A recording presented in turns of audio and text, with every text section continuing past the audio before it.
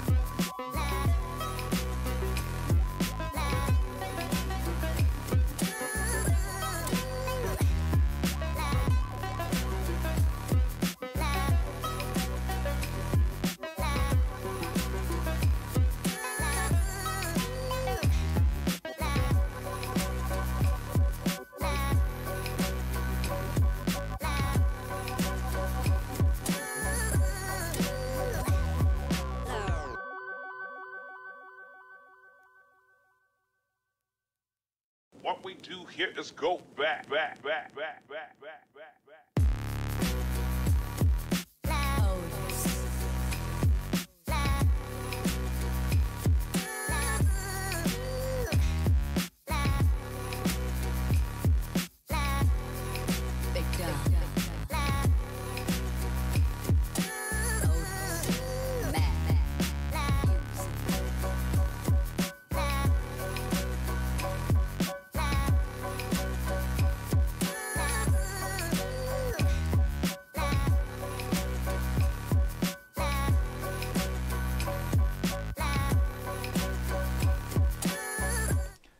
Okay, and we should be live in theory. Hopefully everything is working and you can see and hear me.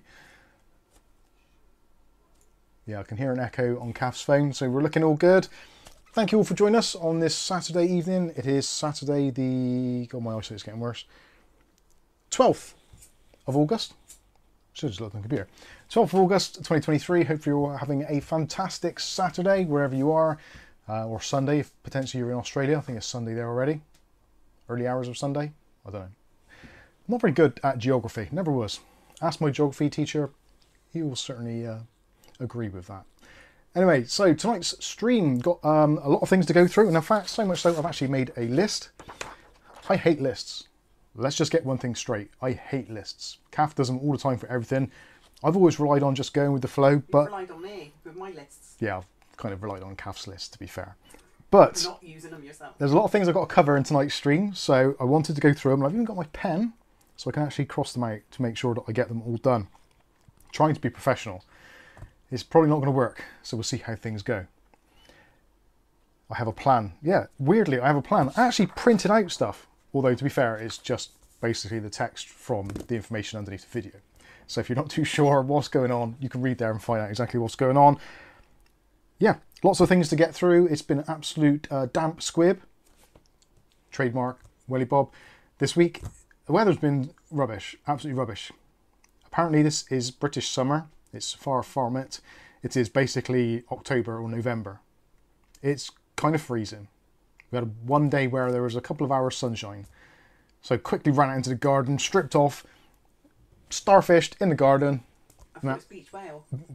Yeah, probably waiting for uh, RSPCA to come and throw me back into the water or something.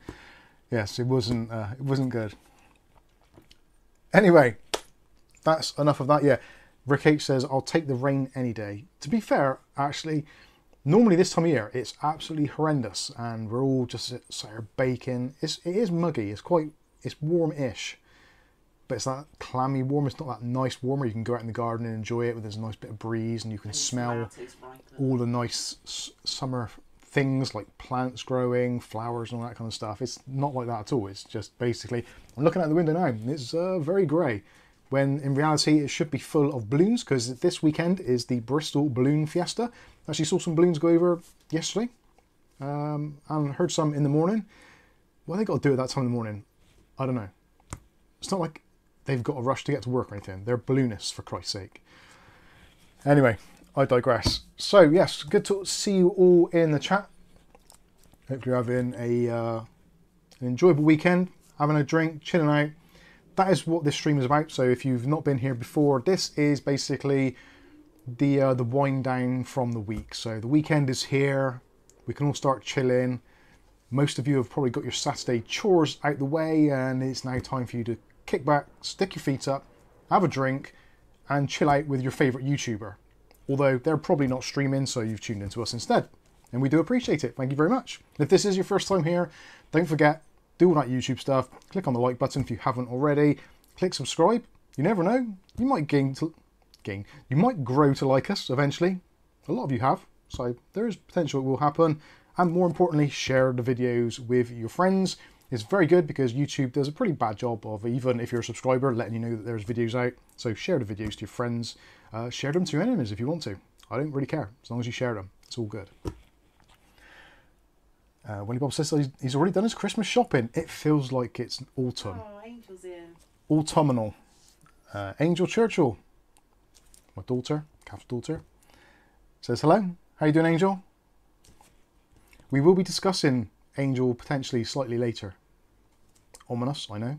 Uh, that is in segment. Let me see where we do. I'll count down. One, two, three, four, five. No.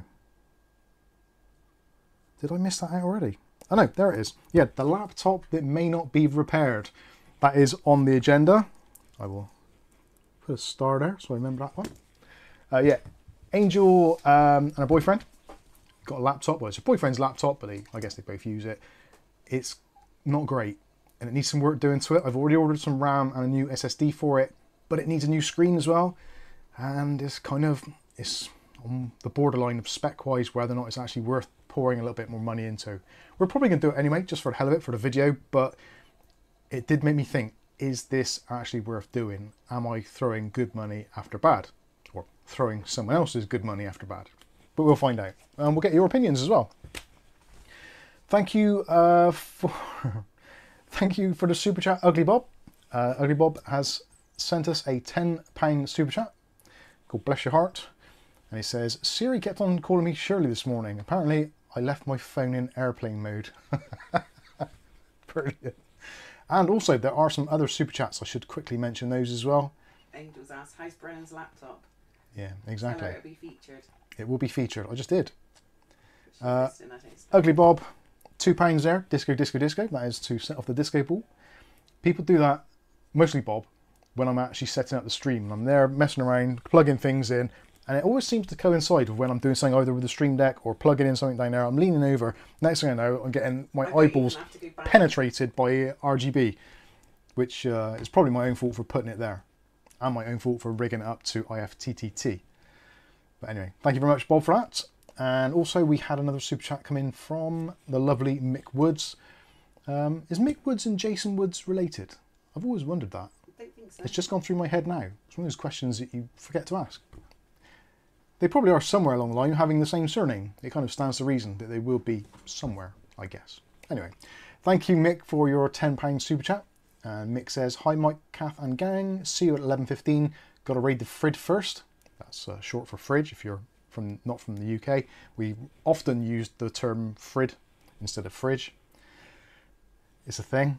Uh, Peroni again this week. Can't beat a good old Peroni. I haven't had a Peroni in ages. It used to be uh, our local restaurant, Ital B, and they basically it's Ital B. The man who runs it told me it's called Ital B. Right, there's a down, there's a restaurant in Downend, our local village, called Italb. Whenever I speak to the guy who runs it, he always calls it Ital B. Like there's an Ital A and Ital B and Ital C, and it's going to be a part of a chain. But I don't think that chain's ever happened. Well, where's A? So, if you're bored, fire up Google, look up uh, BS165. What's the Downend High Street postcode? What was the bank's one? Remember? QQ? 6BL, I think, got it? BL? 6BL, yeah. Downend, look, just look for Downend Village. Uh, you'll see it there. Ital B. It's actually a really nice Italian restaurant. Give it a good review if you can, because Yeah. it is good. It is actually genuinely good. A little bit pricey, but you got to pay for these things. They're independent, certainly, and that's not their fault. Anyway, we're talking about Italian food, and that was definitely not on the agenda. So I'm, I'm afraid we're going to have to move on. Stuart Cleary with another super chat there. Uh, 10 euros, thank you, Stuart. Says a tub, a Tublin, a Tublin staying. A tub, So a is. Dublin, Dublin. I put someone else's teeth into there, I'm sure. A Dublin saying. I just want to hear Mike say it. Gear up the yard. I don't know You've if I a can. bit of an Irish accent. I'm thinking it. how I can do that with an Irish accent. I'm not sure. But so it is on the end. But I just got to say potato at the end. Gear up the yard, potato. It doesn't work. Sorry. Ah dear. Anyway, let's let's move on very quickly. Already off script. Yes, I I know. Okay, so uh, yeah, this week received some items of interest which be taken out tonight. Uh, there is also a special gift that we've received from uh, one of the companies that we actually work with. So I kind of know what it is. Kath had to open it. Uh, DHL opened it as well because they sent it in, and on the uh, the shipping invoice it said contents, and uh, they actually put nothing. They literally wrote nothing. So of course DHL being DHL and customs and stuff like that, you can't send a parcel saying there's nothing inside it because clearly they're going to open it. So they opened it and had to reseal it, etc. So yes, it's been opened a couple of times already, but it's something that I wanted to share with you all. So uh, we'll head on to that a little bit later on in the stream tonight. So yeah, we'll definitely be doing that. Uh, other things, we've got some stuff to unbox. So we've got the Thermaltake new 420mm rad. This is their TH-V2. TH420 V2 ARGB is a beast. I have not tried a 420mm rad at all ever. So this is going to be somewhat of an experience. I thought 360s were somewhat overkill in some respects, but trying to keep modern processors like the AM5s and also the 13th, well 12th and 13th gen Intel cool is extremely difficult to do. They do spike up to these insane temperatures, so having a big beefy rad is going to be beneficial, so we'll be checking that out. Uh, also, we've got a monitor from Yama. I'm never sure on your list. it's not actually. Uh, iiyama is a company that we've never worked with before, and actually, I've always kind of secretly admired their work. Back in the day, in the early 90s, when the PC industry was kind of in its formative years, if you had an I- iiyama monitor, iiyama, iiyama, I don't know, how do you pronounce it? Someone help me out before I do the review. Um, yeah, I always aspired to have one of their monitors, and over the years, I think I possibly did have one or two, like a was it like a Vision Master or something years ago, like an old CRT. And of recent years, I've always looked at them. There was during the whole COVID pandemic, there was an area where you just couldn't buy monitors because everyone was buying up to work from home. And at times there was the uh, the Red Eagle, which was a gaming monitor, 1080p gaming monitor, 165 hertz, IPS fast screen. I really had my heart set on one of those, but trying to get hold of one was an absolute joke. But obviously now that era is somewhat behind us. Monitor prices are coming back into more sensible realms, and they've got an absolutely cracking monitor, which is Ayama. iiyama. A Y E I. iiyama. iiyama. I'm going to do that in the review. That, that'll upset them, probably. Or make them laugh, I'm not too sure. If I do it with my Ali G stuff on, which I've still got, it's still out Do you want there. to hit over less? No. No, no, no, no, no. It's not going to happen. It's not on the list. Um, yeah, I'll do the I'll do the review for the iiyama monitor in the style of Ali G, and see if they send me any others after. It's unlikely that'll happen, but we'll uh, we'll see. So anyway, yeah, they've sent over the Red Eagle 2470 HSU, which uh, yeah looks on paper to be absolutely cracking. Only 130 pounds as well, so puts it in that really nice price point. You've got other monitors similar sort of specs, uh, namely the Asus TUF. You've got the Asus TUF 24 inch monitor, which um, has a little bit more adjustment on the actual frame for rotation, etc., but doesn't have a USB hub as far as I'm aware. So they kind of there are their pros and cons of these things, and also it is considerably cheaper. The Asus I think is about 170. Uh, having a brief discussion with Colin Hilton about that a little bit earlier. And yeah, potentially this is something of interest, especially to those of you on uh, slightly more of a budget, or you just don't want a hulking great 27 or 32 inch monitor. You just want a nice fast IPS monitor with good color reproduction at a sensible price. So hopefully that is going to fit the bill. We've also got the Jonsbo Magic fans, as you can already see on the desk here. These are the magical, mystical fans from our friends over at Jonsbo, courtesy of our other friend, Ugly Bob. Uh, Ugly Bob sent these in. This was actually a pretty decent bargain. AliExpress pickup again. So uh, these are the ZF120 ARGB. They're basically kind of interlocking fans. So they've gone away from the more expensive kind of magnetic technologies. These are basically push togethers, but at a pretty decent price. So these with a little hub, which they kind of put into a bundle, looking about 30 pounds for the set. There are some pros and cons to them. Obviously, they are relatively inexpensive fans, but we're going to fire those up later on. Get the power supply down, fire them up. You can uh, see what they're like, look at some of the results, look at the RGB, and you can listen to the noise profile, which I think is going to be the interesting one. And you can, yeah, and you can hear the noise of uh, fan blades destroying flesh, and or carrots, or cucumbers. We ask so we got the We have got cucumbers, so we They're might be able to do that. They're only little. Okay. Uh, Ugly Bob says, um, my Red Eagle one upscales brilliantly to 4K. Use it as my home main office screen because the screen quality is amazing. There you go. Thqueen. The Thqueen quality is amazing. Aletta says, I like large monitors. I do as well, but I don't always have the room for them. So yeah, we'll take a look at those sausage slicers a little bit later on also. So let's put that to one side. Uh, what else we got? The laptop that might not get repaired. We'll talk about that shortly actually because that involves getting out and having a little having a little play. Uh, other topics are Game Max Velocity. Game Max Velocity fan set. This is actually another cracking little fan set. Moving on, so if for some reason the Jonsbo ones don't quite float your boat, or you want something a little bit more, um, how can I say, more of a package, uh, these are really good. So you've got a remote control, you've got a hub, you also got a strip light as well, and also three fans, and you can pick all that up again, around about £30 or less. So it's a really nice little kit and also expandable because they do sell the Velocity fans on their own for something about six to seven pounds each, maybe less. Something they have got a trick up their sleeves 24 LEDs in each fan. So even the most basic of addressable RGB lighting styles actually looks a lot better. Now, something which I notice quite frequently is a lot of other, a lot of addressable RGB fans only have about eight to 10, maybe 12 actual LEDs in them. So most software is looking for more to make that kind of rainbow effect. So you kind of either get reds, pinks, and yellows together, then you get some blues. You can probably see it behind me actually in those already. Possibly. I don't know if you can, it's the angle. But you can see that one there. It's mostly blue, mostly red, rather than being basically all of the colours at the same time, which is what people who want rainbow puke want. They want to see rainbow puke. You don't want to see shades of colours. Or maybe you do, I don't know. Maybe I'm somewhat unique in that respect. But we'll take a look at those as well. We'll fire those up. You can listen to them. Bizarrely, considering they're really, really cheap fans, they've got excellent acoustic properties. There are some downsides of them, which is why I'm going to fire them up so you can see what it's all about. We will be doing dedicated videos on pretty much all this stuff as well. So if you're either pissed right up or going to bed or whatever, don't worry.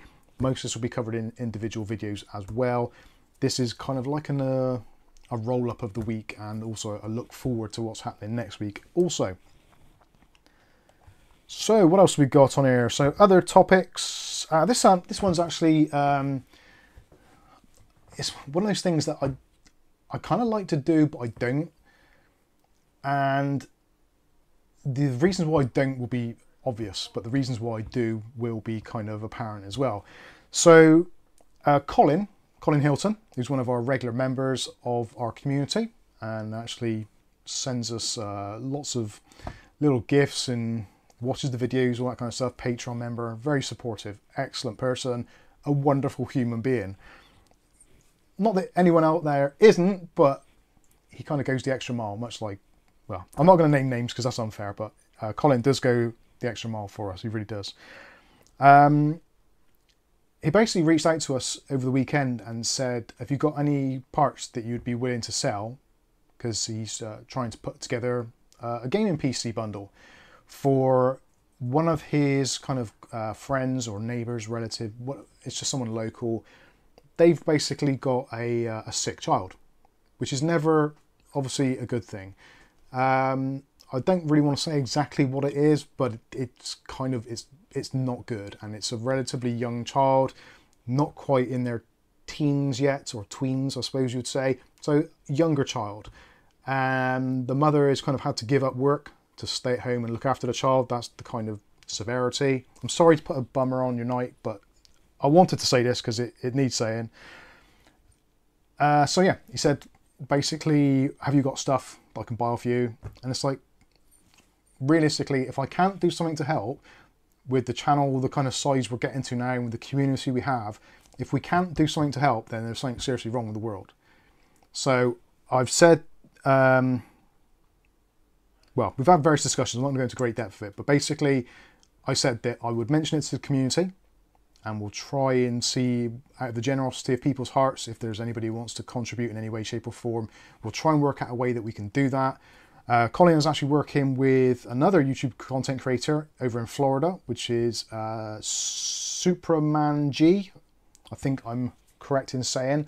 And basically, between the two of them, they put together PCs, one over that side of the pond, one over this side of the pond, and basically, if they find a kind of a worthy cause, they kind of pull together and do what they can to try and make it happen.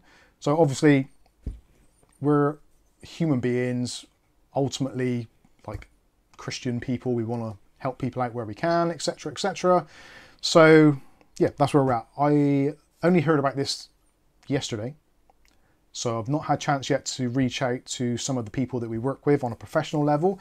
Um, yes, Thermaltake, I'm looking at you, MSI, uh, Yama now, uh, Lexar, etc., etc.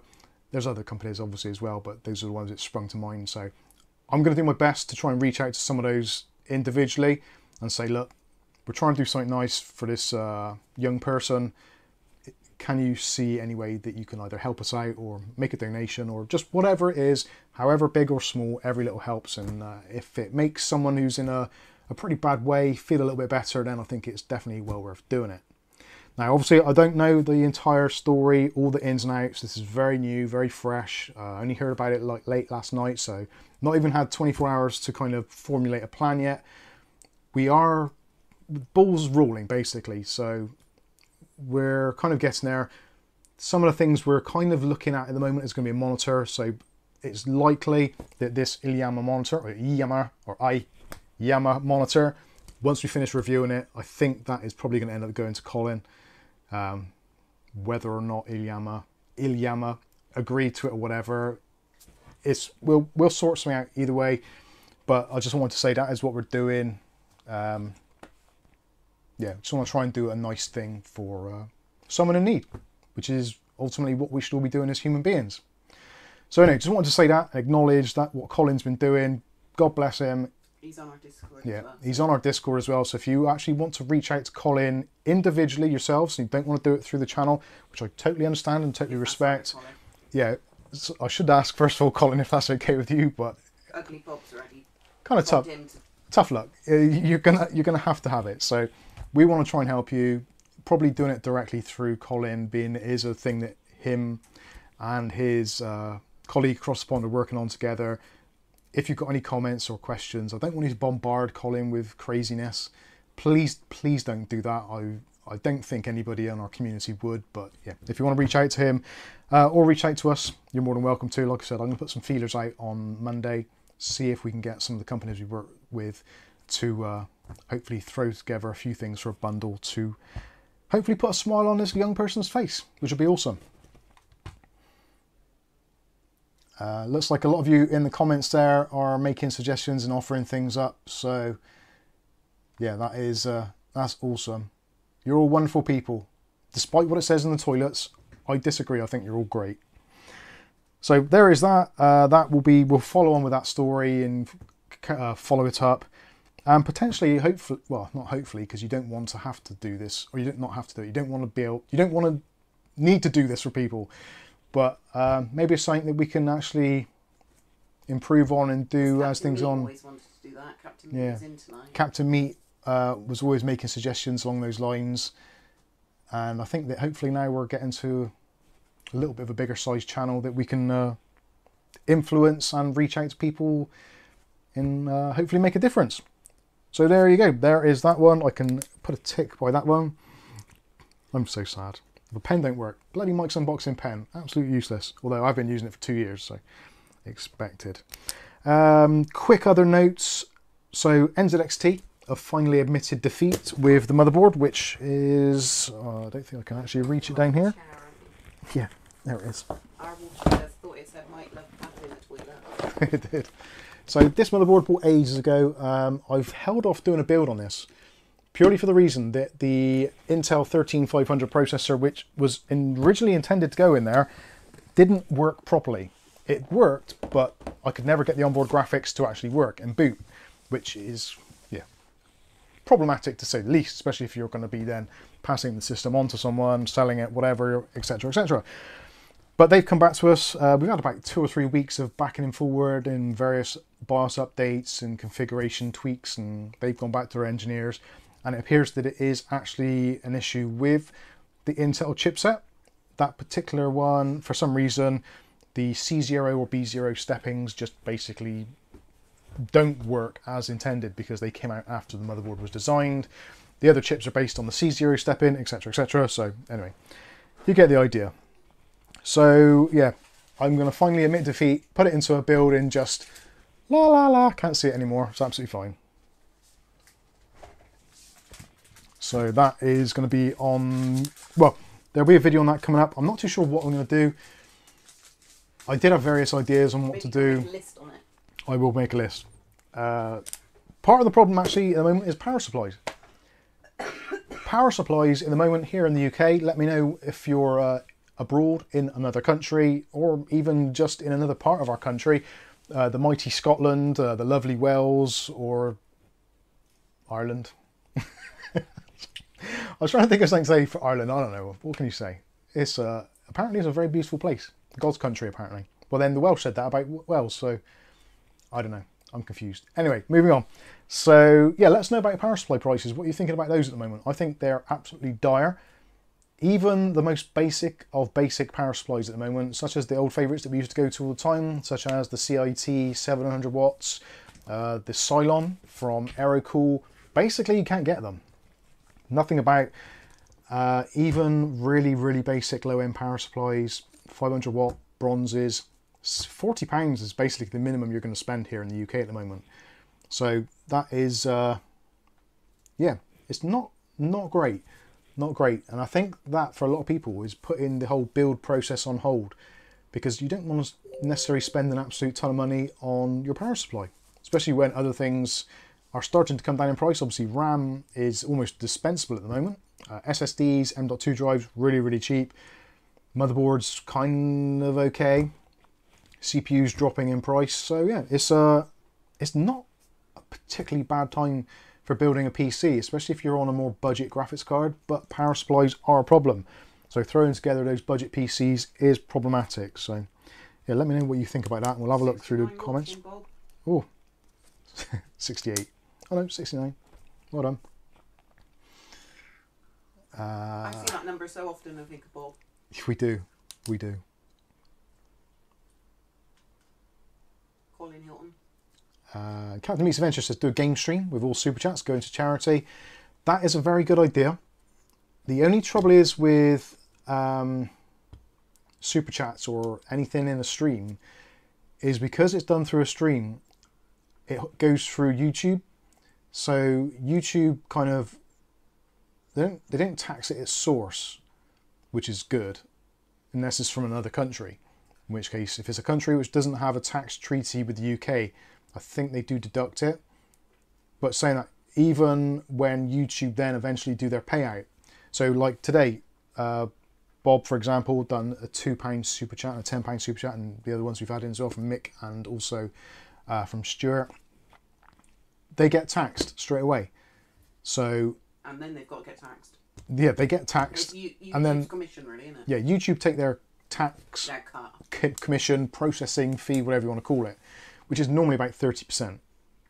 And then when we actually then tell the the taxman in the UK, hey, we've had a payment from YouTube for the hard work that we've done this month, they say, oh, great, we'll have thirty percent of that.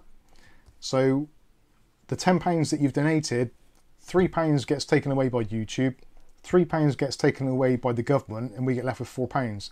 So if you are doing it as a donation, Best to go straight it's to best to go straight to Colin or via some of the payments mean bank transfers, PayPal, etc. PayPal still take a cut, but it's minuscule in terms of what YouTube uh, will do as a processing fee. It would be nice if YouTube would come up with some kind of system where you could do um, a dedicated kind of charity type stream, so they don't take their handling fee and the DV, uh, the uh, Her Majesty's Customs and Revenue don't take their slice as well. But I don't know that there is. So that is something that we kind of need to work on. Um, maybe, yeah, we could do a give page, all those kinds of things. Uh, did Colin say something in the chat? Yeah. I'm humbled by your Uh, let's uh, let's put it on the screen. So Colin's there in the chat, and it said, "Mike's unboxing. I am humbled by your comments and to be a part of your wonderful viewers. Uh, I don't ask or expect anything for helping others, which is the the brilliant thing about it. Uh, I find that a lot. It's a very weird thing for me. It was almost a culture shock. Previously, for those of you, I'm going to go slightly off the topic here. I'm sorry, but I'll say it previously, before doing YouTube, uh, Kath and myself both worked for the BBC, which is a, a TV company in the United Kingdom. We worked on a drama program, and it, it was very cutthroat, and everyone was like trying to fight for their position within the company, and uh, there's They're always freelance, so they had to. it- it's a yeah, it's a it's a freelance it's a freelance market. So basically, kind of everyone's trying to outdo someone else so they can get a job or keep their job, etc. So it's a it's a very weird thing. It's quite cutthroat, Two faced. a little bit bitchy, bit two faced, and then obviously coming in from that and then doing YouTube, thinking this is another media company. It's a very it's completely different. It's uh, there is some levels of toxicity to YouTube and the whole kind of creation thing, but for the most part, I would say the ninety nine point nine percent everyone is amazing. Uh, super nice people, very friendly, very helpful, massively supportive, and it, it, it was um, working for the BBC was making me ill. Genuinely was making me ill, mentally and physically ill. Uh, for a decade. Yeah, for over a decade. It was I literally sold my soul, and mentally that does things to you that you shouldn't have to go through. So going from that and then coming over to YouTube and meeting so many like really genuinely lovely people who basically don't want to do anything else in their lives apart from make other people happy is just mental. It's absolutely insane. And it kind of it still now takes me it's like I'm waiting like someone pinch me. This is it's not real. And it feels very surreal. It really does because the, the normal real world is not as nice as this world, which I think is why people turn to it so much. But anyway, let's move on. So that is that out the way. Tick. Um, oh, another one, quick housekeeping one. Did a, a GPU switcheroo this week. So, in part of getting ready for the Intel build, uh, I've taken out my Intel Arc A770, which was originally in my video editing machine. So, the RTX 3060 Ti, which was in here, was taken out of there, put into my video editing PC. The A770 is now back in the box, ready for a build. The RX 6600 is now in the streaming PC. So we're all AMD again, which is uh, potentially lovely. Maybe it's not going to be. But it seems to be running well and actually doesn't appear to have dropped any frames.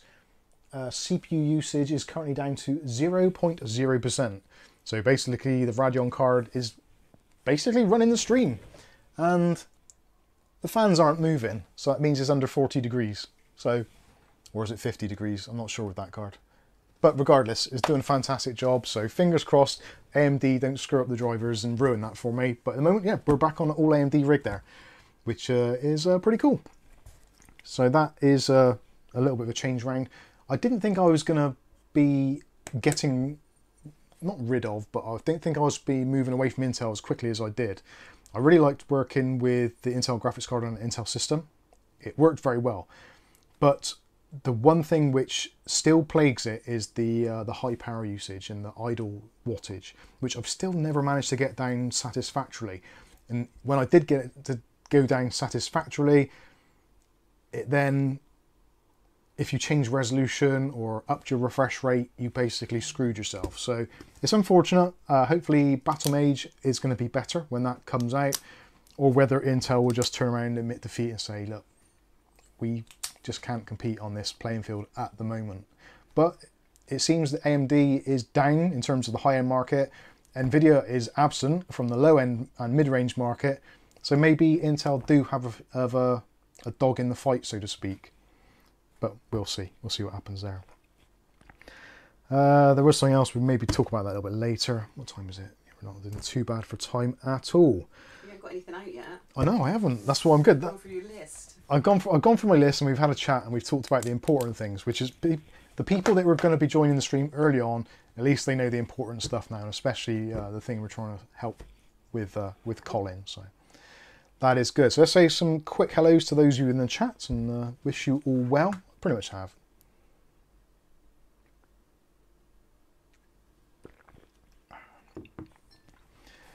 Where are we? So sorry, scrolling up through. Why does a mouse wheel make a different noise scrolling up than it does down? Has anyone ever noticed that or wondered it? Up?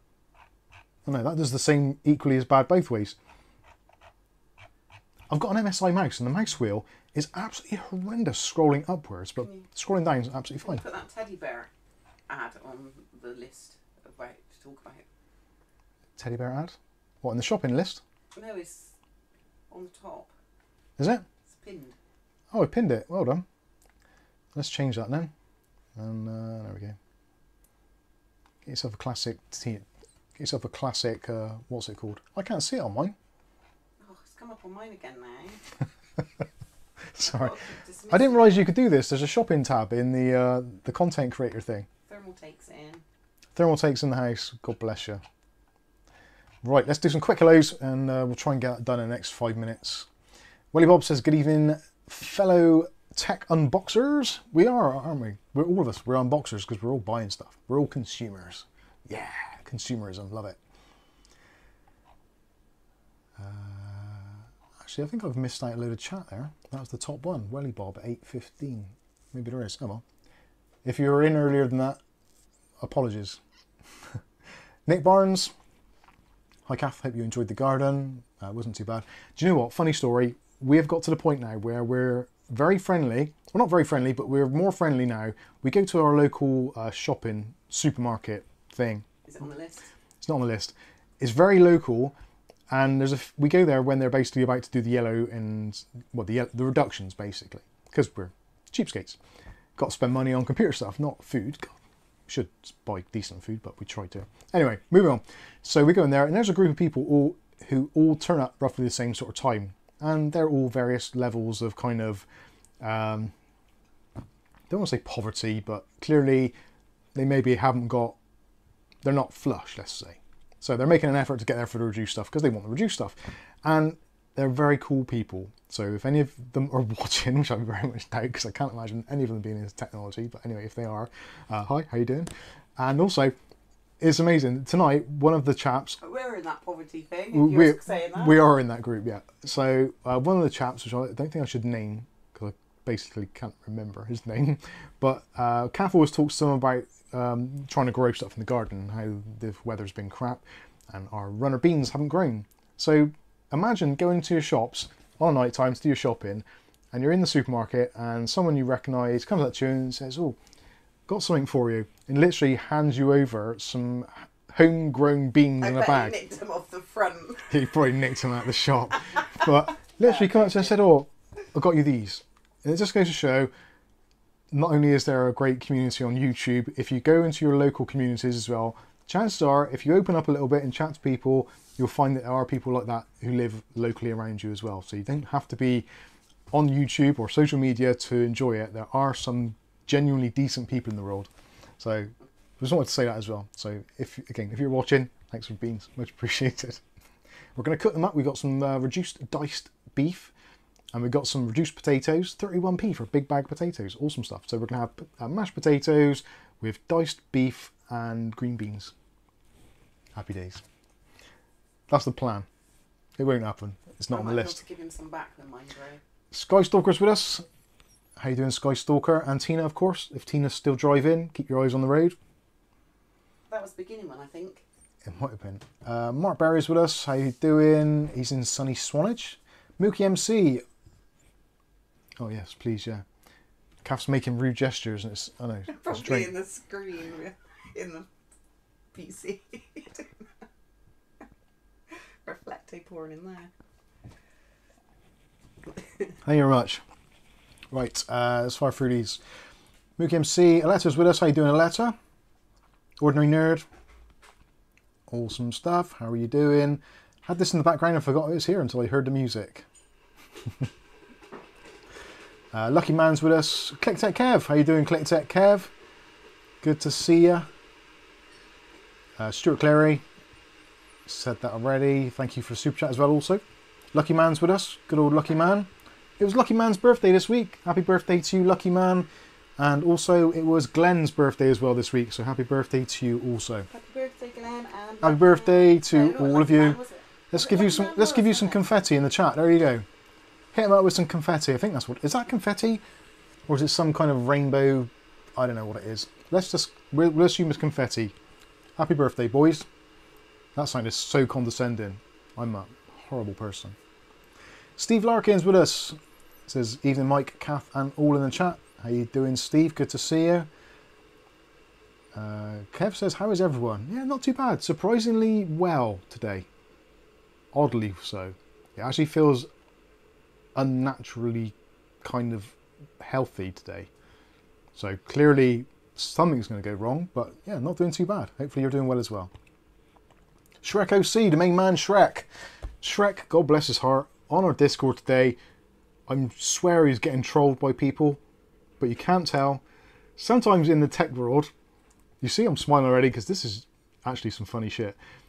Some people, most things we take I have to laugh. Yeah. I don't know anything techie. we take things for granted because we've probably done a lot of these things numerous times, and you get a little bit kind of uh, not complacent, but you just assume that people kind of know the basics of PC building. Now, I do have to say, I should know better because got a YouTube channel, make YouTube videos showing people how to do dumb shit. That is basically my life, and uh, it's still like there's obviously people out there that have got elements of fear and doubt. They they don't believe in themselves, or they don't believe in their own kind of intuition. Most things in life, if you follow your own intuition, you just listen to that inner voice which is guiding you. Normally, it's going to guide you in the right direction. It's unlikely your own psyche is going to give you a bum steer. It might do, but it's unlikely. But a lot of people don't have faith in themselves, which is why YouTube channels exist, basically, because anything you want to do. How do I wire a plug? Type it in YouTube. Oh, that's how I wire a plug. Excellent. Follow it along. Then you've learned a skill. You've gained something. So it's excellent. But I still find um, in the Discord, I think pretty much most of the people in there in the um, probably the members group, the um, tech support people, the experts, the uh, VIPs, etc., and the admins. We've all kind of we've all been through the middle a little bit. So every couple of months you see a, a whole new batch of people where it's like my PC doesn't boot. I've put everything together, uh, everything fires up, the fans all light up, but I don't get a display. And then you say the usual things: what's the PC like, etc., etc. Do you want to send some pictures so we can see if there's anything obvious which you may have done? And sometimes you see some very, very bizarre stuff, like literally motherboards bolted directly to the back of the case, no pillars or nothing. And I guess it's like I said, it's not entirely obvious. Unless you've done it a few times or you've made the fatal mistakes yourself a few times, I guess you don't know. Yeah, shut that, it's free. So, although we do find it quite funny and humorous when people do some just basically really stupid things, we all got to learn from someone. And hopefully, some of you out there in uh, the internet world out there, hopefully you learn some things from us. Because it's actually very nice to be able to be in a position where I've done things and I've messed things up so much that I've learned from it, so I can hopefully pass on that to you guys. This is what the, uh, the aim of this channel is, really. That's what it all started from. Anyway, moving on. So, Ugly Bob, we said a letter. We've said Colin Hilton. God bless you, sir. He's in the chat as well. Uh, who else we got? Shrek. Actually, yeah. I should say as well. Big shout out to everybody on the Discord who's been um, u- using their time, helping people out, and just yeah. Sometimes I get on there, and I think probably some of you do as well. You just get into these conversations, or you see a post come up, and it's the same thing again. No post. Do I need to flash this? Can't get my USB to work, etc. And you read it, you and you kind of just you can hear an audible dunk as your heart is just sinking into your boots, where you know this is just like right here we go. But some days you get that thing where it's like right, I know where this is going. Let's do this, and I guess you guys are doing that as well. So thank you all from myself and Kath. Thank you all so much for what you do in the uh, in the Discord. It is much appreciated. Right, who else have I got to? Let's fire through these. I keep on saying that, but I don't. Mick Woods is with us. How you doing? Orale's with us. Bless you, Orale. Can I just interrupt Rick H, JB27. How you doing, JB? Yep. with a question? Hmm.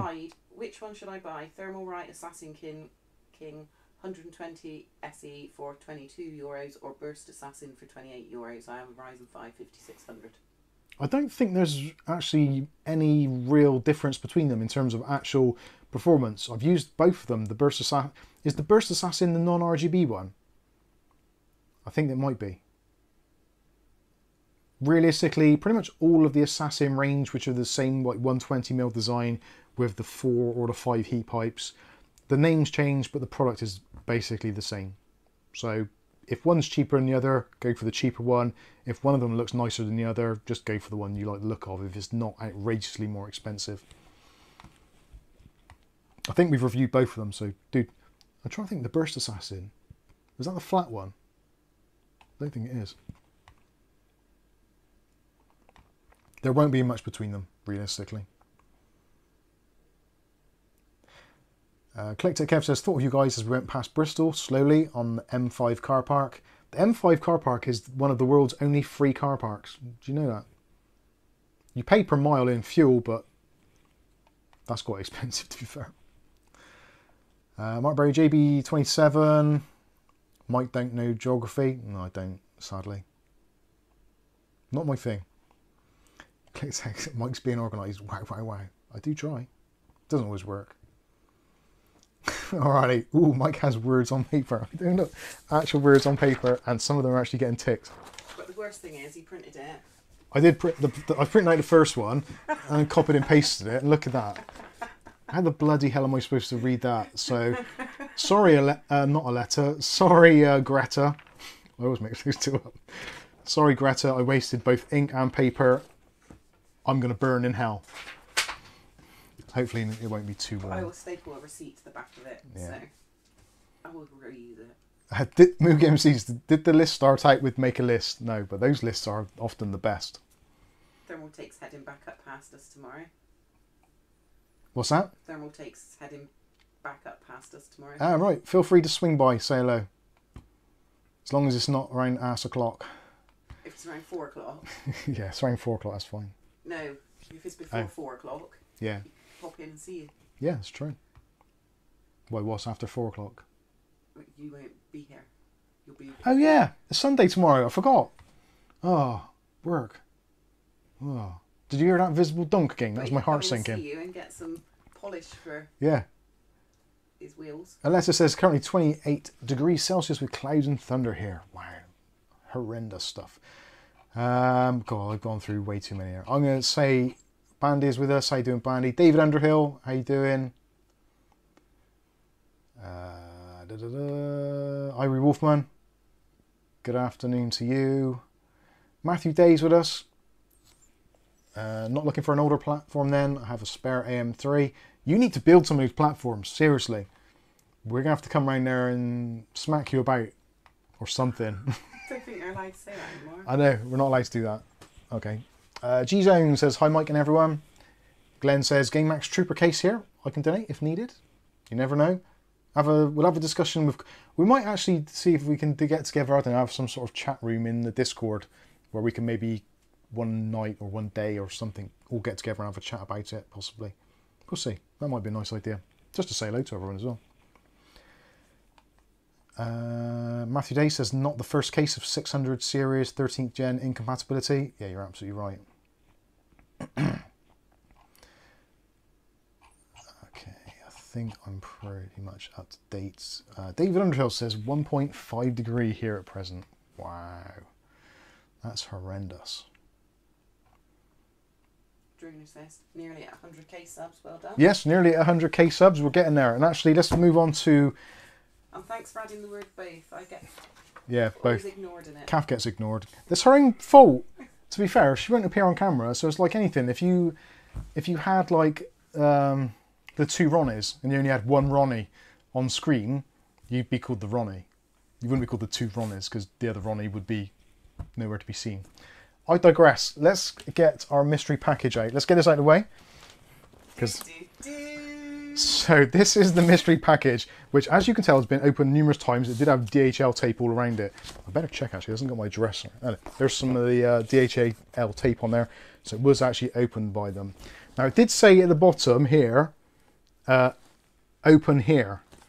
So it does say on there, as you can probably see, uh, this side up. And there, it did say open here. And the papers I took off so he couldn't see what it was. Yeah, Kath took. So um, I don't know whether I should do. it. Should I do this with the overhead, or should I do it on that camera? I don't know. Let's see if the overhead actually works. I haven't even tried that yet. Maybe your face is what Oh, needs I- to be seen more. My face. I don't want to see my face. No, I don't want to see my face. Is the overhead actually working? There we go. Uh, let's clear that off of there. So that works out quite well. You can see that. Okay, so Film this. UK, oh no. so let's have a look. And Take UK, say which camera. yeah, Thermaltake UK. You should actually say which camera it should be on. or the follow cam. I haven't got the follow cam on currently. Gary st- Gary says, "Come on, Kath, you should be on camera." No chance. Thermaltake UK says top. Okay, all right, let's do it. So uh, I'm going to move this out the way. Oh shit! Let me move things out the way. So let's uh, open this up. So this appears to be um, a Thermaltake Toughpower s- Mind your teeth. series. Is there anything important on there which is not to be seen? Oh, what hell. So this looks like a Toughpower GF1 750 box, which is probably a little bit old by now. Do they actually even, do they still make the GF1 now? I don't think they should. Mind your teeth. I am. I'm looking at my cup of tea, which is over here. Sorry, I'm gonna, I'm gonna move that out of the way. underneath of it. Actually, I haven't slurped my tea. Could it be one of Bob's farts? So Thermaltake UK say the GF1 is end of line. I thought it was. Glenn with his 420 blazing says top, middle, or bottom. We will know. Do do do do do do do do do do do do. Good old. Well, I shouldn't say good old. That's a Freudian slip, really, because he's not good. He's older. Uh, Michael Barrymore had a program called what was that? Strike It Lucky, and there was three levels: top, middle, or bottom. He's definitely a bottom. Yes. let's, let's let's let's move on from there. As soon as the uh, RGB light has stopped, and excuse me my blushing. So let's have a look, see what's going on here. So we've got some bubble wrap, which is uh, kind of nice. Thanks Thermaltake UK for sending in the bubble wrap, and thanks Glenn. There we go for all you fetishers out there. Um, we've got some more things, and ah, now this is getting interesting. So we have a box inside of a box. So let's move this out of here. Uh, Is there anything else in here? Nope, it's still a Toughpower box. Okay, so we, we won't be needing that for a little while. So let's have a look. What we got here? So this is. Um, it feels quite heavy. And there's a number three on the here. Um, I'm not sure what that is for. There's a number three. Is that relevant or anything? Does I need number three? I don't know. Is there a number on there? There's a number three on there as well. Oh, we should be playing music, and when it stops, it should be passed between me and you. Yeah, but you don't want to be on the camera. I could do it off. So for those of you that can see close enough, um, well, it basically says what it is on there. So this is uh, Thermaltake, and it says Best Media Award, Mike's Unboxing. So it feels very heavy, and let's uh, let's see what this is all about. And Da-da. ooh, some more foam in there to prevent damage in transit, but what we have here, ladies and gentlemen, in this attractive box, with no money in it. Uh, this is from Thermaltake Global. Mine are reflective porn. Mine. Sorry, reflective porn. Oh, you can see the ceiling. See the ceiling lamp. Um, and it does say on there, Thermaltake Best Media Award, awarded to Mike's Unboxing, signed by Kenny, who is the, I can't think what his surname is actually. Is it Kenny Lin? And uh, yeah, signed by Kenny Lin, the chairman and CEO of Thermaltake Technology Co. Limited from May 2023. Now, for those of you that followed the um, the CES coverage in May, these I believe were awarded from Thermaltake to various members of the of the press and the media, and they were done on stage. So I don't know if I'd have been there. I'd have been up on the stage with those other lucky people, but uh, yeah, that's kind of mad. Turn it back to you now. Uh, yeah, I honestly, I don't know what to say. I really don't. It's. Thank you very much for the super chat, O'Reilly, and thank you Thermaltake for uh, for this award. Speech, speech. Speech, speech. Let's go back to the main camera. So there you go. You can uh, you can. This thing's actually really heavy. so it's uh, it's basically solid glass or crystal. I'm, I guess it's glass. I'm not too sure. I'm getting sweaty hands on it. And there you go. Hopefully you can uh, you can't really see it with the light. you can see it. There's the media shot. It looks really see-through, but in real life, it looks quite yellow, Yeah, so there's uh, like a yellow base. golden. or golden base, which then reflects up through. And you got this, it's literally, that's super heavy. Ugly Bob, 10 franc super chat and says that is the poshest bottle of aftershave I've ever seen. it is. Uh, Thermaltake UK say it's crystal, so it's actually a crystal award. So I am, uh, this is actually the first award that we've, I think this is the first award we've had as a channel, isn't it? As a channel, yeah, I won the egg and spoon race once. There you go. Kath once won the egg and spoon race. That was her previous claim to fame, but now she is part of the award winning Mike's been- Unboxing I must have been. YouTube channel. Pretty pleased with that. And it's come at a really good time because we're edging closer and closer to the uh, the 100k mark. So hopefully Oh that will God, it's heavy. it is really heavy. Uh, hopefully, we will be able to have our I want to drop 100,000 subscriber uh, plaque to go next with that, so we can uh, we can display them both together somewhere. That's pretty cool. Lucky Man says, "Has it got RGB?" Not currently. It is really heavy. You don't understand how well. If you've ever used like a, a crystal decanter, imagine one of those, but or maybe two of them. This actually, you could use this as a weight. I bet you'd kill me with it. Kath did say that, yeah. She's, I bet you'll kill me. yeah. Uh, So if you ever see this on display, behind me somewhere and it's missing maybe one of the corners and Kath's really quiet, you know what's happened. How many fan headers does it have? Uh, currently has no fan headers, but we may have to uh, to remedy that. Does Thermaltake make a case for that awesome award? they do. So genuinely, uh, yeah, it's uh, it's mental. Actually, having an award or getting some form of recognition for the channel is uh, is yeah very very cool indeed. So thank you very much, Thermaltake. Much appreciated. And actually, it is now the perfect thing. Oh God, running stuff. Um, I can actually put it into the series 500 because it's always been bothering me that I've got a big space here. So there we go. We've got our award in the case. It's just double the weight of the case. I'm gonna have to reinforce this shelf soon. It's got a cup of tea on there as well. Look at that, that's cool. Um, I'm impressed with that. So thank you very much, much appreciated. And thanks to everyone's congrats. Yeah, thank you for the uh, congratulations.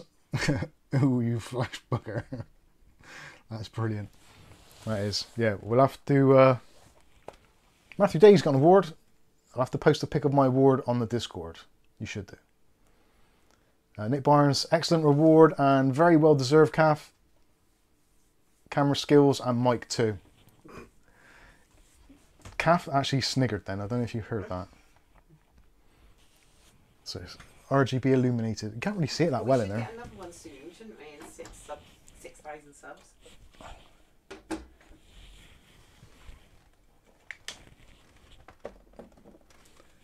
How's that look? Come on, be- catch up. I can't see now. I will be messing around with that, moving it around. I don't know. I might have to. I'm gonna have to find somewhere better for it. It's not going in the toilet. Our bathroom's awful. I'm gonna actually. I'm gonna leave it there for now because it's very cool and I'm very very pleased. So yes, I can actually say now, officially, the award-winning Mike's Unboxing YouTube channel. Happy days. Maybe the Superman mug. Captain Me's Adventures, very uh, complimentary as always. Uh, God, how has this channel won anything? It could not in a three-legged race if it had six legs. ah, dear. Excellent. Joe says put it back in the case. Uh, Dave Underhill says, "Do we all get participation awards?" Um, it is the 90. Uh, sorry, it is the the 2020s. So that sort of thing is normally seen, but unfortunately not. Uh, David Aikens with us says uh, the award for the best yellow sticker finder in the southwest. That might be me, or it could be um, Matthew Day as well. He's very good. Matthew Day's been doing it a lot longer. We've learnt everything we need to from him. Uh, Thermaltake UK. Oh, they said no. Not too sure. Hey George, look at Dad's new award. Mookie MC says, save the box for when Thermaltake demands you return it. Yeah. Whenever. Oh. Sorry, that's the ice dispenser and our son. Hello, Look George. at Dad's award. I've seen it already. Let's feel how heavy it is. Wow. That is quite heavy.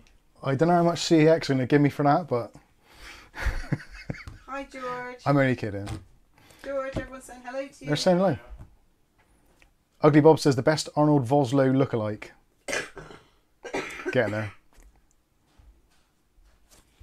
Save the box in case you have to. It is a lethal weapon. Seriously, it is like It's proper. That's got to be about two kilos, easy. He's going to be moaning his arm muscles hurt tomorrow. Yeah, I'll be like, oh. Yeah, I'll go to work tomorrow and be like, oh, my arm hurts so much. What's the matter? Say, Oh, I'm lifting the award. right. And on that bombshell, it only seems fitting now that we actually look at something as well. That is from Thermaltake, believe it or not. Actually, what do you want to do first? Should we do the monitor first or do you want to do the uh, 420mm cooler? Let me know what your thoughts are and uh, we will uh, we'll do whichever. Mick Wood says, well done Mike's unboxing and well done Thermaltake. Don't you just love this channel? Bless you. Thank you very much. That is appreciated. O'Reilly says, monitor. Ugly Bob says, I think you should do the Thermaltake thing next. Yeah, Adam probably wants to get to bed, so let's uh, let's have a look at this. I'm actually intrigued because this cooler has been sat here in the box and I've been waiting to do something with it but unfortunately it's had other boxes piled on top of it. So we haven't quite got round to doing it yet. Now, this is something actually I don't know where to start with this. I think you should probably start with the fact that this is cheaper than you think it's going to be Thermaltake says first UK media to show the new THV2. ah there we go so this is um, an exclusive at present happy days. Now we're not going to be testing it, its thermal capabilities because it's a 420mm rad and you need some serious space to do that. And unfortunately the serious space that I need to do it is actually the Series 500. So when we do the testing this this week, I'm actually going to be doing it in the front of the Series 500. Now I don't often like front mounted radiators, but when you've got something this big, then you're kind of slightly limited. This is more for your more um, aggressive system, more hardcore system. So you do need a bit of room for it. But this is the TH420 version 2 ARGB sync. We've actually done the, um, I think we did the TH360 ARGB not that long ago. Although seems like it's ages ago, but it was a very good cooler actually, very good pricing. This, actually have some guesses in the um, in the chat. How much do you think this is? Oh, you're guessing. Ugly Bob says 100 quid. You're not that far off. Uh, O'Reilly say, says 180. He also said 80.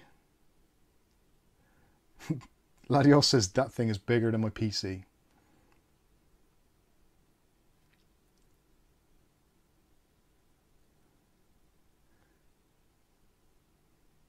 Uh, Irie Wolfman says, I remember when Thermaltake were a brand you'd never recommend to a friend. I always let them know, but now you can recommend it to a friend. yeah. Take can. So there's some pretty good guesses actually in there. Uh, Ugly Bob says, I'll give you 100 quid cash and I'll donate it to Colin Hilton. You never know. I've got a feeling this has got to go back. I should check. Uh, Yeah. Uh, Derek, Hey Flame. if my girlfriend asks, my girlfriend asks, that cooler is only six inches long. right, the price for this at the moment, actually, because of all of you guessing, I've completely lost track of how much it was. I'm pretty sure at the moment on scan.co.uk, please feel free to check out. Actually, please do check out because it saves me doing it because I don't feel I can actually reach my keyboard. 129.99 is the retail price for this as it stands at the moment. Potentially it might be slightly more, might be slightly less, but I'm pretty sure it's 129. Uh, and if you buy it in Australia, David Underhill saying there, the uh, this one is 239 Aussie dollars, so that works out to 135 pounds. Yeah, 129. 129.99. So that is cheap for a 420 ml cooler. 130 quid, considering this is like the improved version. So it comes now with the CT140 fans. Now, if you've seen any of our videos before, you'll know the CT140 fans are awesome. I've got CT140 fans there. There's three in the front there. There's some up there. I really like them. They're great value for money. And they are kind of knocking on the door of basically Noctua fans. And in some cases, actually better. Do you want to move your tea again? Do you want to move my tea? Yeah, I should. Oh, that's quite warm.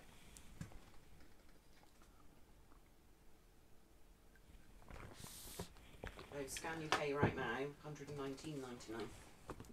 Wow. Awesome stuff. So yeah, for a 420mm AIO, that is nuts pricing. It really is. Let's head over onto the uh, overhead cam. And I better clear the messages off because that is going to get in the way. So, there we go. So let's see what it's all about. So TH420 V2, ARGB sync, AIO liquid cooler, three fans, copper-based design, 34.7 dBA. I'm not entirely sure how they work this out. I'm actually, being that Adam is in the chat at the moment, Thermaltake UK, is it 34.7 dB over the ambient dBA, or is that an actual reading in like a, a soundproof room? I've never quite worked out what the deal is with that because I can't imagine because this room, literally with just the PCs on and no one in the room, is like 40 dB, unless my measuring equipment is wrong, which it probably is.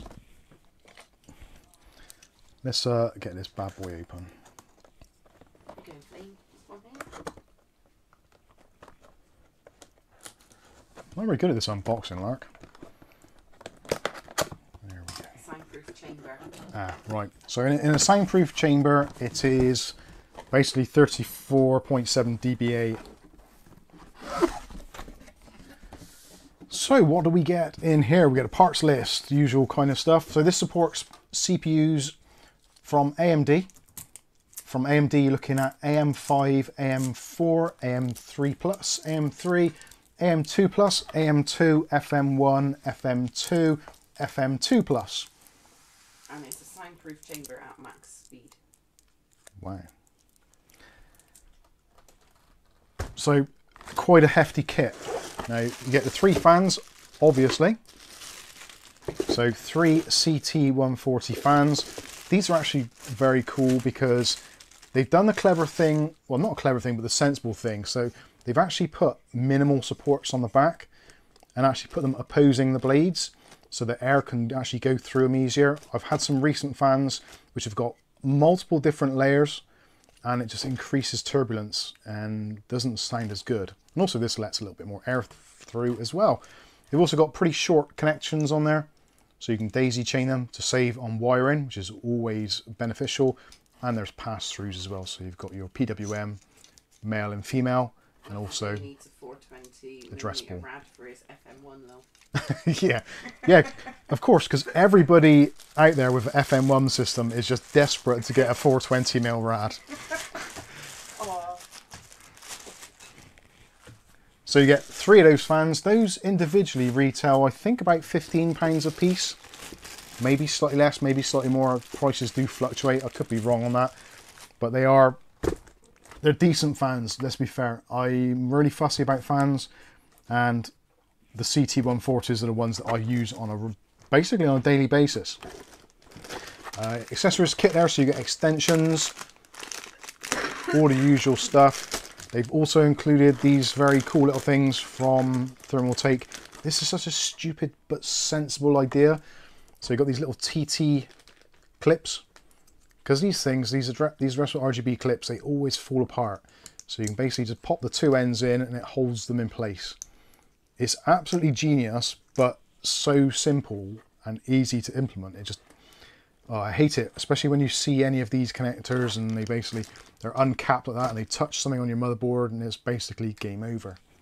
Thermaltake. Then we'll take, uh, where am I? Pump is. The pump is our new design and the cold plate has a 0.4 mil micro fins that evenly distribute the coolant across the cold plate.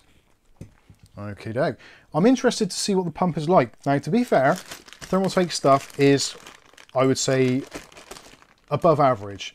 But I will say that my Thermaltake, what is it, the Tough Liquid 360, for some reason, in my particular build, there is a little bit of resonance that comes through from the pump. Now, it isn't unique uh, to Thermaltake in any regard, so it is more of a chassis thing, or potentially the way the motherboard is connected. I'm not sure what. Um, unfortunately, it's a Thermaltake case as well, so kind of it's, the fault lies there somewhere, but it could be to do with the motherboard as well, because I've not put a different motherboard in there as of yet. But I did notice there is definitely a very slight whine to the pump on my um, Tough Liquid 360. So it'd be interesting to see how they handle that with this newer design. Because pump noise is a thing. Most people never notice it, but I've got a really weird hearing thing where very, very small noises, which most people would never hear, actually bug the shit out of me. Sorry to say it crudely, but it's absolutely true. And sometimes those noises, like our kitchen is about 12 to 20 foot in that direction, but yet I can hear the refrigerator pump and it annoys me. Get up and flick that I'm like, Kath, That's how I won that award. flick the freaking switch. because it's just like driving me absolutely nuts. We don't really have mosquitoes over here, James. No.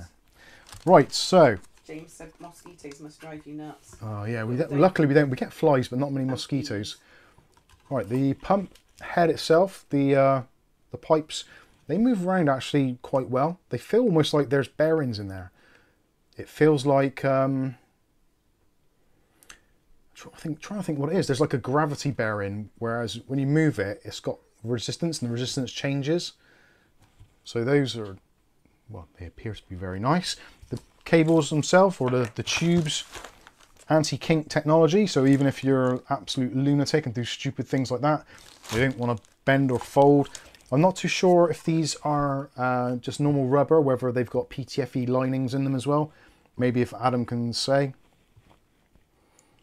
Uh, Thermaltake UK resonance is from the pump speed ran way too fast. Allow the pump speed down from the right. I to be fair, I generally always have my pump set to at least eighty percent, so that could likely be it. So maybe that, yeah, user error. That's what we always say to my mum. Connections on here, so as you'd expect, because this is a Thermaltake product, it's got addressable RGB, standard 5 volt 3 pin addressable RGB, and also a pass through. And the pump, I'm actually really pleased to see. I'm not sure whether this is accidental or what, but it actually seems to have a genuine 4 pin PWM header. Now, if you've been into water cooling for any length of time, you'll know that pretty much never yeah, never do you get a four pin PWM header on the pump for your water block. They're pretty much always 12 volt and just on a, um, a three pin header, voltage control. So this actually has PWM. That surprises me. That is rare. Uh, when it comes to the pump head itself, so nice flat plate, flat, nice cold flat plate there, and that looks like it's finished very nicely, very smooth. Not mirror finish, which isn't always the best way anyway. But yeah, that looks like it's done quite nicely. An absolute metric ton of screws holding it in place as well. So you can have even consistency across it. Quite often you find with these, if there's only maybe four or maybe six screws holding the base plate on, even if they're just slightly different torques on there, they have a little tendency to warp slightly. So that's pretty good. Uh, is it wired to be four pin or are they just using the plastic connect? No, it is. Yeah, it's fully wired four pin. I'm not sure if you can see that. It's uh, overhead. You see that? That is a absolute fully wired four pin PWM. That's cool. Uh, cold plating, seen that already. Something which is actually quite good on this, which a lot of manufacturers are doing now, but they seem to have done it quite well, is the rotating pump head as well. So depending how you install it, so whether you install it kind of uh, up that way, that way, that way, which way ever you, you want to do. If you've got an EVGA motherboard, you might want to mount it like that. Yeah, various different ways, but you just you can rotate the logo in the middle. So yeah, happy days. That works well. And let's have a look at the actual radiator itself. Then we'll take it off now. Oh, cheers. Thank you. See you later, Adam. I'll message you when you get back. He's actually away. But he dropped into the chat just to say hello and to wish us well. When he's on holiday. Bless his heart. Oh, actually, and I'll be tapping you up as well for some bits for Colin Hilton for our charity bit, which we talked about at the start of the stream if you haven't seen already. I'll talk to you about it anyway. So, big old radiator, as you can see, and uh, it looks to be absolutely pristine. There's no dings in it, which is often a problem for radiators. When they come through, they get little dings in them in manufacturing. It isn't the end of the world, to be honest with you, but it's kind of nice that if it looks like it's been looked after, it should uh, last you a bit of time. Let's see what the depth is like on that. I'm guessing it's going to be 25 mil or 20 mil. It's not, yeah. so depth of the radiator, looking at uh, about 25 mil, just slightly over 25 mil, and it looks like they've used wider fins on there as well. So quite often with radiators, you get this outer side section, but then the fins actually inside are lower down. Now that works in two ways. It's good because if you accidentally put the screws in too far, you don't mangle up any of the fins, but also it reduces your thermal capacity. So making the fins as big or as deep as physically possible actually does help with cooling. And also can prevent uh, air leakage and escape because the air is going to go straight in and rather than escaping to the side. So it's very good. And it looks like there is, and it hasn't got a cover over it, so I, I like this. There is what appears to be a fill port there, which they always say don't use because you shouldn't really need to. But there is actually a fill port there at the top, which realistically is where you want it to be. So in most situations, because it's a 420, it's fucking huge. So you can have this probably at the front of your case. Now, clearly, you're not going to have it like that because your pipe's never going to reach to your CPU. So you are going to be pipes up. Despite what Gamers Nexus and others say, it's fine. It will be slightly noisier because obviously the air bubbles, if any, are going to be in the top there. Your CPU block is going to be kind of over here, kind of over here somewhere, however you figure it out. So your pump's always going to be lower. So you're not going to be too worried about air getting trapped in there because it's unlikely to fight against the downward flow of the air in there, or the water in there rather. So it, it shouldn't be a problem. But if it is ever a problem, you've got your drain plug there. So you can just tilt your PC over to the side, which then makes this the highest point, loosen it off, put in some more fluid, you're good to go. Put on the rubber plug. They haven't put a void if removed sticker on there. I'm not sure whether they will do. This appears to be a regular retail release, so I can't see they would do. But yeah, I'm actually genuinely looking forward to trying this. I've never tried a 420mm radiator, so it's going to be actually a hard one because how do I compare it with other 420 radiators that I haven't used? So Stuart Clary asks, is it up to 420? Um, yeah, 420. it's almost big enough to be, well, I've seen, as some of you know, I work in a car shop as well, and I've actually seen car heater matrices smaller than this. So the sort of thing that you put or have in your car, which fires hot air into. So on a frosty day, you turn the heat on in your car. Basically, there's a fan behind something this sort of size or smaller, probably about half the size, and it just forces air through there from the engine. Heat transfers, blah blah blah. You get the general idea. So this actually does. This looks closer to the size of a normal radiator than it does a heater matrix, which is David What they use. Underhill, it's got to go back, hasn't it? I believe this has got to go back to Thermaltake. I will check in with Adam. Uh, Dave Hunter says use the 420mm rad as a starting base for the for a humongous build, and then raffle it to Colin Hilton uh, for Colin Hilton. I'll let you read that. it's, it's been a long day, and my reading is uh, getting worse. That list. It's the list that's screwed me over. I blame Kath. I told you not to do a list.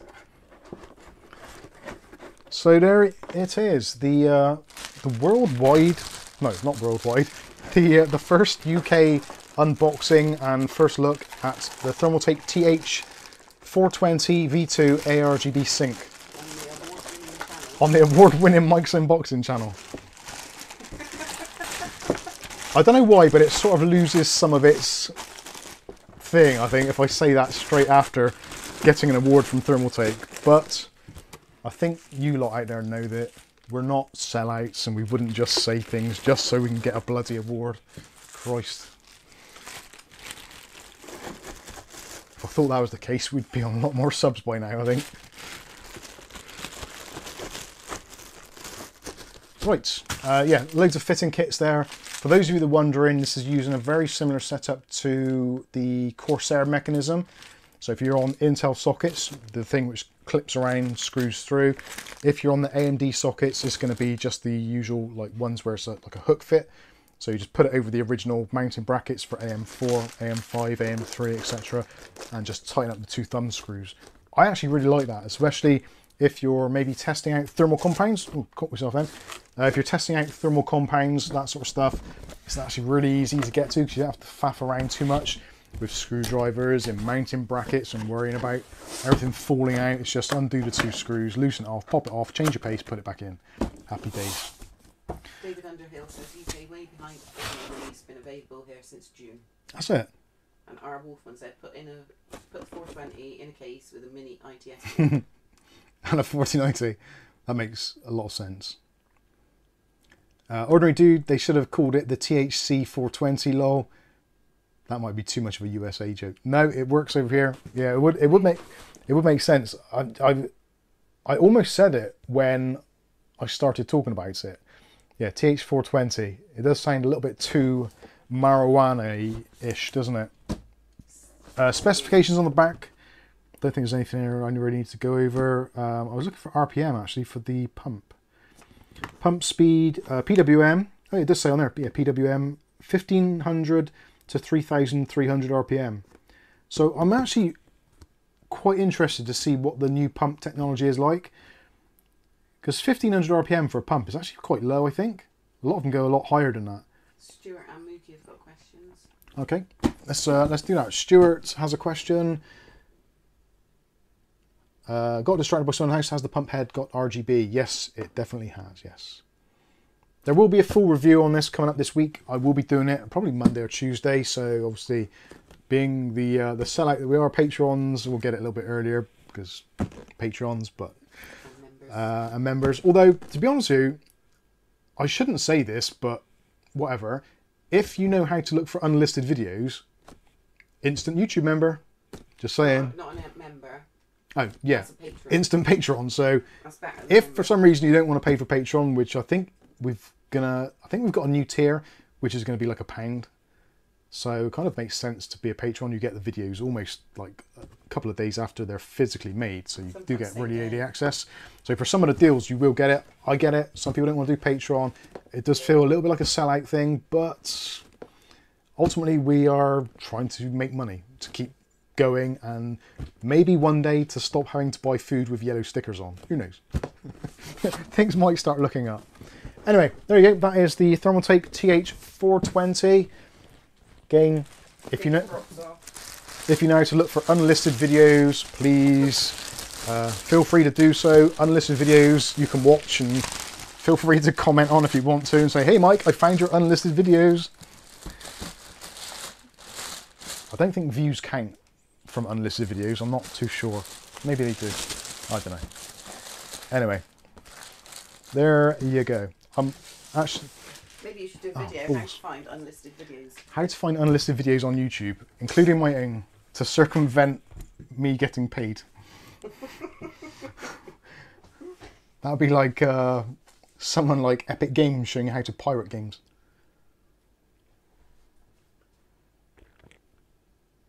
You hear me say James is off? Yes. Cheers, James. Bye and welcome.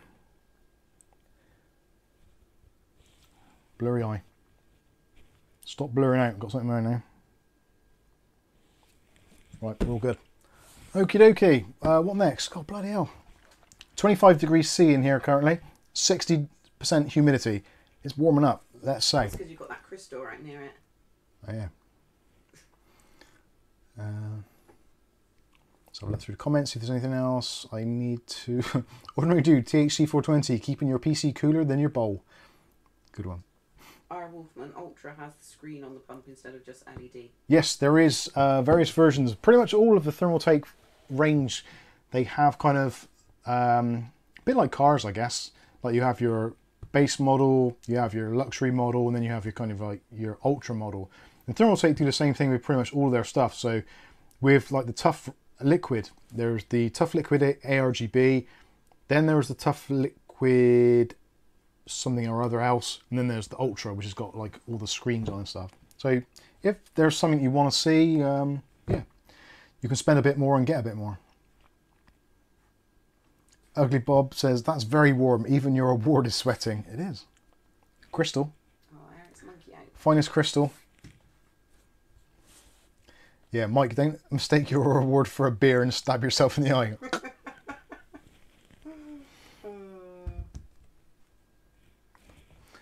Uh, right, let's have a look at this monitor.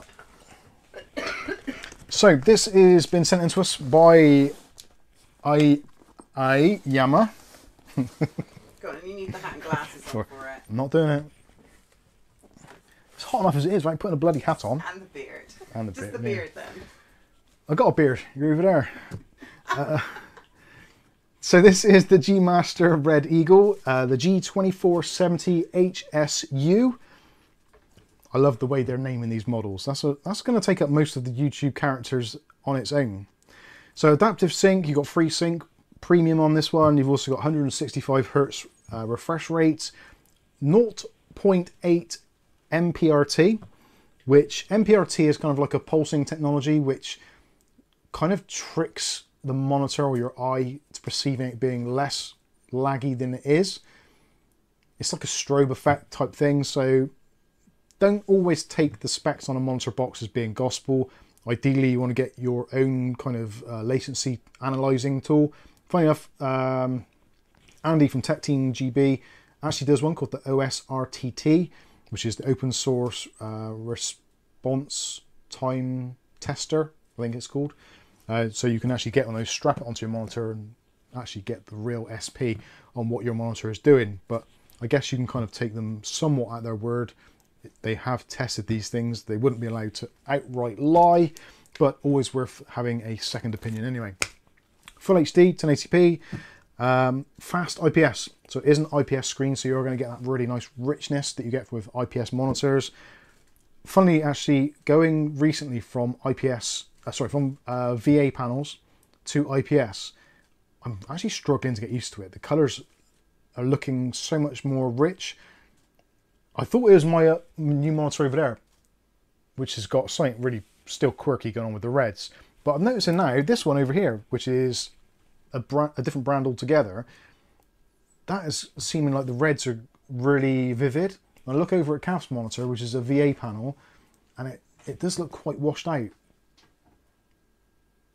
I'm not sure if I prefer the washed out look, but Luke. Luke, something I did find actually watching, uh, I was watching Blade 2 last night, and the first time I've watched it actually on an IPS high quality panel, and it looked freaking amazing. The colours, especially in darker stuff, so if you like things like Blade, uh, The Matrix, anything which has a, a darker tone to it but relies on other lighting like fluorescent tube lighting, street lighting, that sort of thing, IPS is going to look great. Now you do get a better contrast with VA panels because of the way they are. So the, the contrast ratios are generally better, but IPS gives you much more of a pop. So it's kind of, it looks sharper and it pops more, but you lose some of the contrast. So it's kind of like a trade-off. VA panels are traditionally cheaper to produce and arguably faster, although IPS now seems to have caught up quite well, especially when now you can pick up a 1080p IPS fast monitor for basically what you were paying for a 24 inch VA maybe this time last year or the year before. Possibly not the year before because things were crazy then. But anyway, you get the general idea. It's got built in speakers. It's also got a USB hub built in, so if that is important to you, and actually sometimes that is a difference for some people on picking up a monitor. Has it got speakers? Has it got a USB hub? Because some people, their PC is a bit further away, so they've got no way of actually accessing the USB hub, so having them built in is cool. And having a backup set of speakers and a monitor is always handy to have for troubleshooting. I don't know, whatever it is you're doing. If you're just plugging it into a PC for testing purposes, like this is going to be a great monitor for that. If you're not going to use it as your main monitor, you might want to use it just as a secondary monitor. Who knows? Anyway, let's have a look and see what it's like. I'm not too sure how I'm going to fire this up because I don't think I've got enough extra ports on my uh, on my graphics card to enable another display. Now, hopefully this is going to be DisplayPort and HDMI. I haven't even checked that, to be honest with you. If it's DisplayPort, I'll plug in another DisplayPort and we'll have a, a triple-headed display, which will be the first time I've actually done that on that monitor. I don't even know if it supports it. And I can't plug it into the onboard graphics on the uh, Ryzen because I've disabled them. Because that was obviously a stupid thing to do, wasn't it? Right. Lane's not in. Oh, the tags are in on the box. Come on. Uh, Viali 100 says, went from TN to IPS, would never go back. Yeah, oh god, yeah, TN monitors are not great, are they? Right, things are dropping um, badly.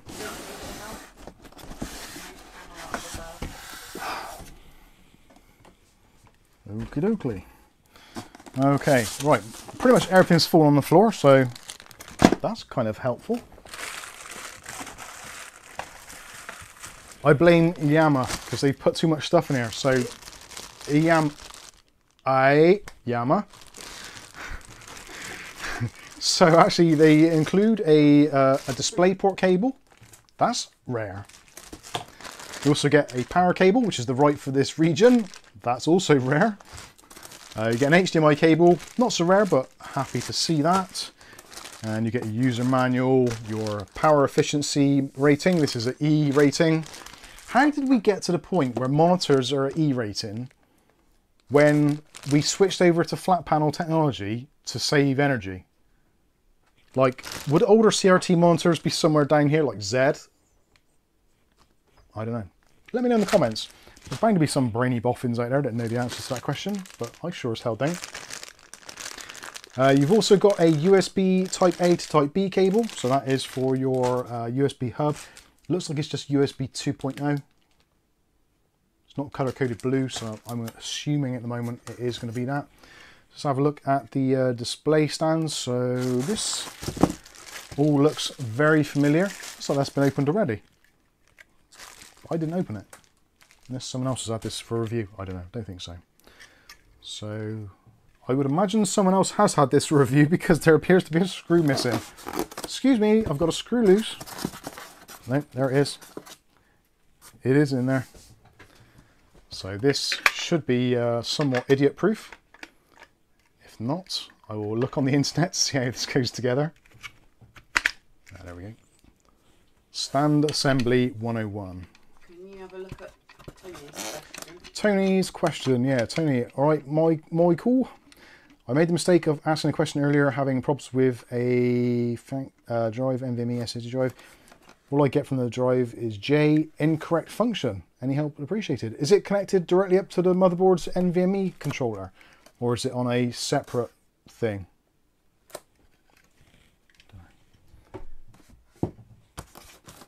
Nick says you remind me of. Nicolas Cage in a 90s film. Hopefully it's not Face Off.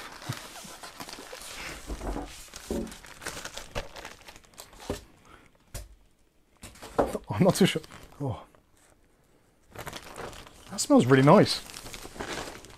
Why would a monitor smell nice?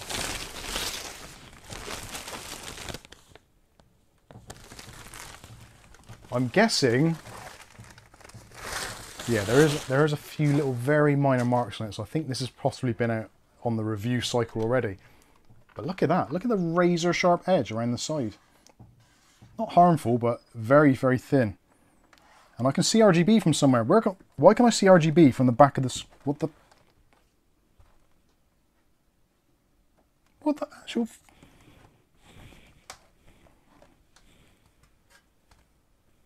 Ah, there's something in the back of here which is metallic and it's actually reflecting through the vent. And I can see uh, RGB. It's like, why is there RGB in this monitor? It's not even turned on. Anyway, let's have a look at the back, shall we? So it does say iiyama, and also it's a G Master, so it's part of their gaming range. It's just had a Thermaltake spike through it. It'll be fine. Normal kettle lead style connection, like that, no separate power supplies required. You've got HDMI and a display port. You've also got a uh, audio jack, and also there is a USB connection there, as you can see. And on the side, you've got USB. Oh crap! I should give this up. I really should. There's two USB Type A's on there as well. What else we got? So the uh, menus, or buttons on the side there. I don't mind that to be fair, because once you've found them, I'm guessing they're going to come up on the on-screen display. We'll find that out shortly. If not, it does say what they are. So top one's input, up and down, menu, and off at the bottom. So that's all right. So if you find the buttons on the bottom, so that's on off, that's menu, down, up, input. Yeah. I remembered that. So input at the top, up, down, menu, off. Right, going back to Tony. Very easy to to uh, to remember that. Going back to Tony, it won't work in the motherboard and it won't work in my separate NVMe SSD caddy either. I'm thinking it might be a bit dodgy. It sounds like that might be the case. I hate to say it, but I think you're absolutely right.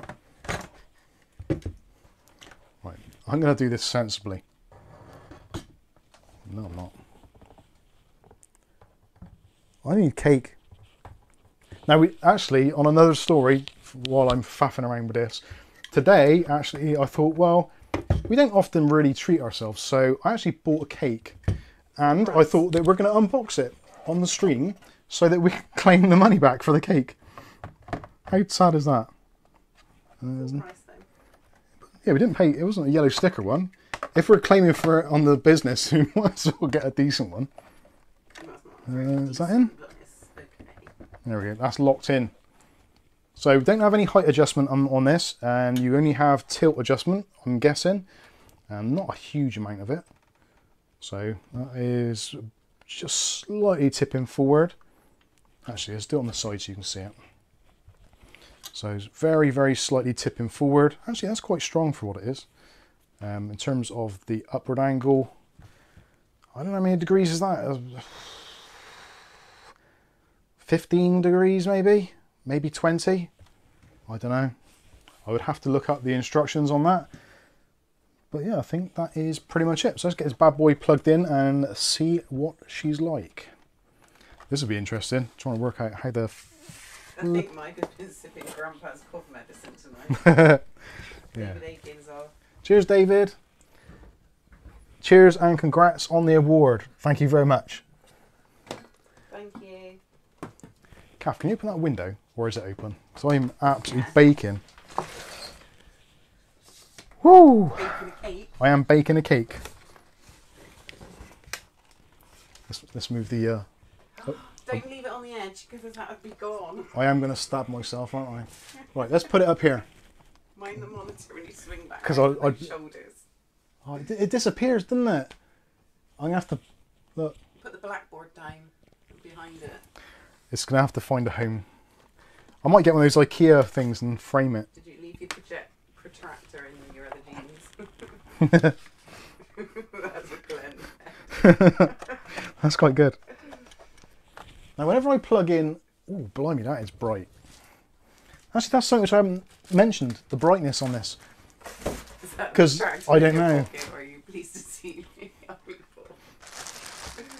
Right, uh, what shall I use? Let's use the display port. This is really going to mess things up now. But we'll see.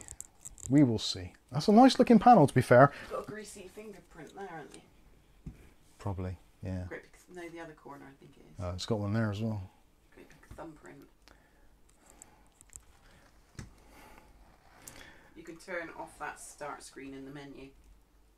Oh, can you? Ugly Bob's got the exact same monitor. It's the best he's ever used. Well, there you go. He says, I think. Bob's Bob's a winner.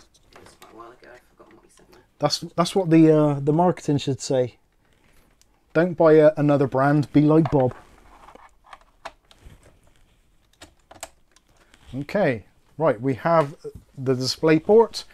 Let's see if we've got another spare one here that I can actually access. That'd be nice. How much to pay for those jeans? Yeah, I've got half of them up my ass. Nine's worth up thumb. Hey, there we go. Mike's unboxing, reviews, and how to. That looks nice. Um, I don't know where this is going to end up, so let's. Uh... Yeah, that's not bad.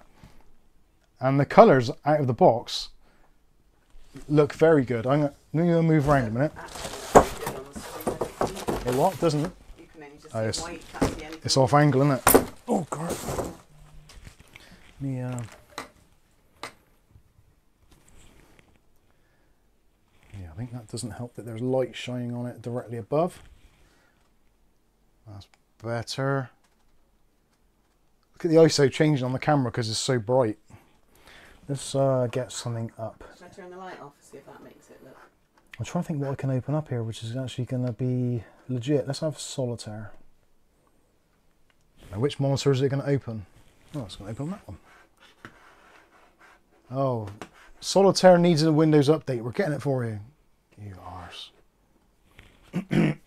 right, in person, that actually looks a lot nicer than it does on the camera. It's always one of those tricky things to get right, actually. Let's see if I can change the ISO.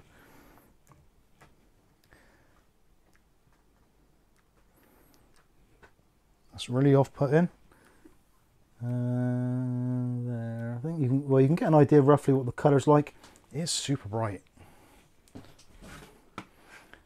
Uh, accept and continue. Ooh, Sounds a bit more jazzed up than when I used to play it. so you see the colours there. Colours be popping. Remember when I used to go through freestyle and play each level until I completed it, starting at number one? Yeah. And my list of what number I'd got up to. Right, is that visible? Can you guys see that? There is a bit of moire effect on there. Let's see, but yeah, the colours are colours are nice and rich and vibrant. I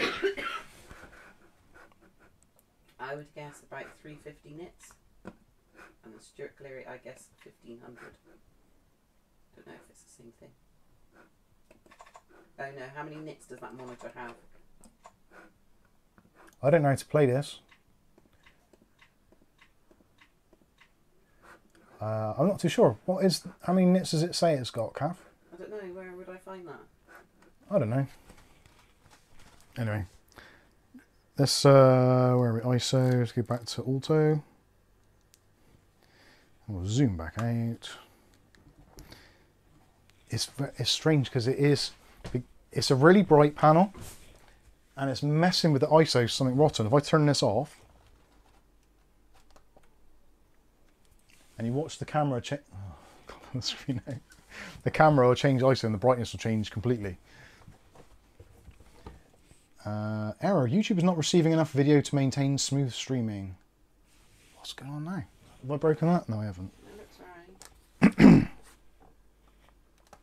Turn it back on. I want to see the uh, the input. That does appear bright. I, I quite like this this splash screen now. So what we've got? So uh, select input source. We've got auto, which is the default.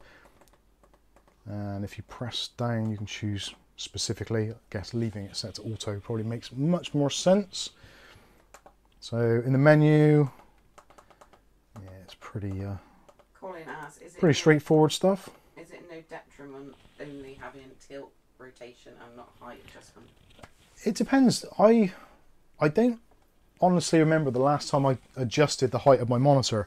Normally, I tend to more adjust the the sideways, like the the rotation of it, But than I do anything it- else. That's because you would set it up the right height to start with. Yeah. But what if that isn't the right height to start with? Yeah, if it's not the right height to start with, then having height adjustment is useful. Quite often, I would probably suggest with any monitor if you are. Um, actually, let me turn this off to an angle so It says 250 nits on a review. Thanks, Wyatt. It seems like brighter. It does seem like it's considerably brighter than 250 nits. Uh, says 369 nits at 100% brightness. yeah, I would say it's closer to 300 and something, just from my very, very limited knowledge. Bob thinks his has got 400 nits. I will find out in time for the review. But basically, um, actually, that's a good test of the uh, the viewing angles. Is that still visible? On a very yeah, even on that sort of angle, it's still visible. So you've got some really good viewing angles on there, which is kind of an IPS thing anyway. Overall, my initial impression of the straight out of the box colours is it looks really nice. Although saying that, I think the reds are a little bit popping again.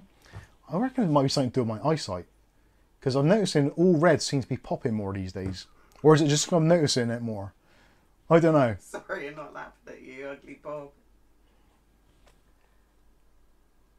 But it does look quite nice, quite sharp, quite crisp. 24 inches with um, 1080p. For a lot of people, it's kind of like the sweet spot. As you start going bigger, like 27 inches, 1080p does get a little bit pixelated if you haven't got the pixel density.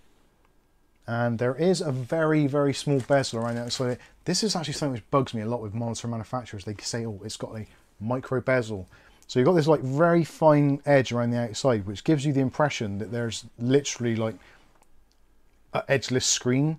And they often advertise it as that, but actually there's a very, very slight black indentation all the way around, which is about,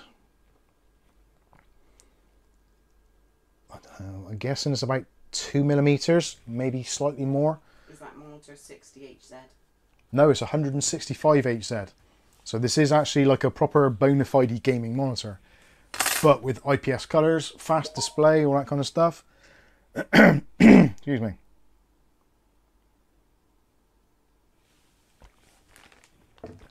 So I like it. For 130 pounds for 165 hertz IPS, there isn't a lot on the market. excuse me, that will touch it. The only thing I suppose, which would be its kind of direct competition at the moment, would be those Harari monitors. They've got a special offer at the moment. Their 24 inch 165 hertz monitor, uh, which I believe is IPS, uh, just slightly over 100 pounds. So a significant discount at the moment. Normally it's about 130, 140. I don't know. I've not seen one of those in person other than the one that I reviewed a while back, which I wasn't overly impressed with. I didn't think the color accuracy was particularly good, but it was a different model. So to be fair, a lot of these manufacturers kind of source panels from similar places. It'd Be interesting to see what uh, what panel manufacturer this actually is. But yeah, it's VESA mountable, so if you do want to put it onto a different stand, if you don't quite like the height adjustment thing, you can put it on a wall mount or put it on just a, a separate stand, which you can purchase relatively inexpensively, kind of on eBay and places like that, or just brand new off Amazon. But yeah, I like it. Happy days. It's, it's hard to get excited about a monitor until you've actually used it for a while and you're used to it. But in terms of pricing, specifications, features, it's uh, it's pretty much gets a, a yes from me, I think, at the moment. And normally with IPS screens, you get that weird kind of banding effect if you get really close to it. You can almost see the individual pixels, but even getting really close to this, I can, oh, yeah, I can just about make them out there if I squint. But here, no problem. Obviously, normal kind of viewing position, you're never going to see it in a million years. And I think the colours look really nice. Again, very hard to do in a video, clearly, but that is definitely something for a work in progress. One to keep your eye on, I'm sure. What, that monitor? Yeah. Now we get the old display port thing where they lock in and you can't get the damn things out. Arali says, if I did not have LG monitors, I would it, I would be Yama, had many and loved them. It would be. Uh, I, Yama, Keep saying it wrong. never, never ever gonna get that to work, am I? right, so let's put that to one side. I suppose I should pack it away really, but let's have some cake, Kath. Oh, I forgot to get a knife. Just, just put it in a blender and just shove it down my throat. I think that's the way forward. Obviously, never put a monitor face down because it's uh, generally seen as a bad thing. We could serve Comes apart pretty nice. Why does YouTube think it's not getting enough data? That bothers me. Have a look at your questions, see if I can read them out while I'm doing this. Uh, David Underhill, I love my Acer monitor. I have six plus one Philips. Yeah, to be fair, Acer monitors, this one that I've got here, which is uh, Old Faithful, that thing was 149.99, I think, or 179.99. That's the 27 inch version. So that's the, uh, I think it's the HL 24, uh, 274. And yeah, it's been great. Actually, I bought it as a display monitor to go above a bed on the uh, the TV program that we worked on. So it's supposed to be displaying sort of medical stats, but uh, we got to the point where someone was uh, doing some repair work on the set and stove the ladder into it. So there was a ding on the screen. Obviously, for most purposes, it didn't really show up at all. But they didn't like it, so they're like, right, we need to get a replacement. So replaced it, etc., etc. I chucked it in this. Oh, the power button broke as well, which was the other major defect. So the power button doesn't work. So you can't turn it on or off, which again, on a TV set, if they want to quickly turn a monitor off, they're not happy about doing anything which involves any sort of Wire pulling. wire pulling or actual work. So they just expect it to be, uh, it's very simple and straightforward. So they're like, no, not putting up with that. So said, chuck it in the skip. So threw it in the skip. And then as I was walking back from the skip, I'm thinking to myself, actually, that seems like a terrible waste of a potentially a usable monitor for something. So I said to the boss man, I said, boss man, what's, what's the deal? Can I, uh, can I go and rescue that from the skip? He's like, well, if it's in the skip, yeah, of course, do what you like with it better you have it than it go to landfill. So I said, yes, I agree 100%. And it be mine. And uh, it became Kath's monitor for a while. Although, yeah, she got a bit pissed off of it as well because you can't turn it on or off. And you basically can't access the uh, the menus or anything. I don't use But menus. it was uh, it was perfectly serviceable for a while. And the only reason I use it there is as a monitor because I don't necessarily have to have any uh, any particular kind of input to it. It doesn't have to be color accurate. It's only for me to gauge if focus is working and Microphones. microphones plugged in, which I didn't check this week. There is a video coming out actually where you'll see me being quite jovial, but really I'm dying internally. And it's because, is that the right way around?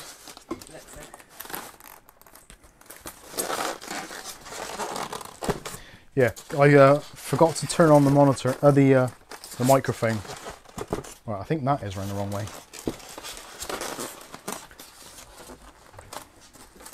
Ah, what the hell? It's going in the box. Like, like it or lump it, you're going back in that box. This is fun.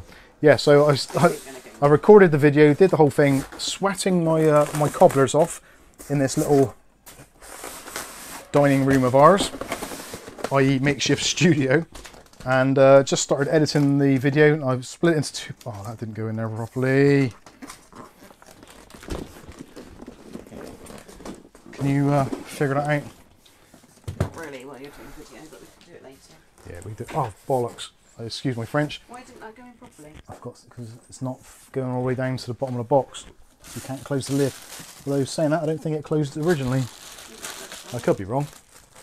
Anyway better look before I sit down. Don't want to break me uh, unthinkables. Squash potatoes, sir?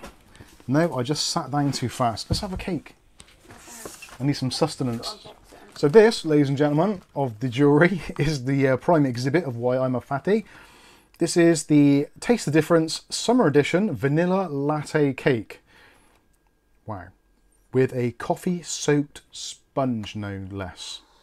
Best before the 18th of August which is uh, a few days away. So we better consume some of this already.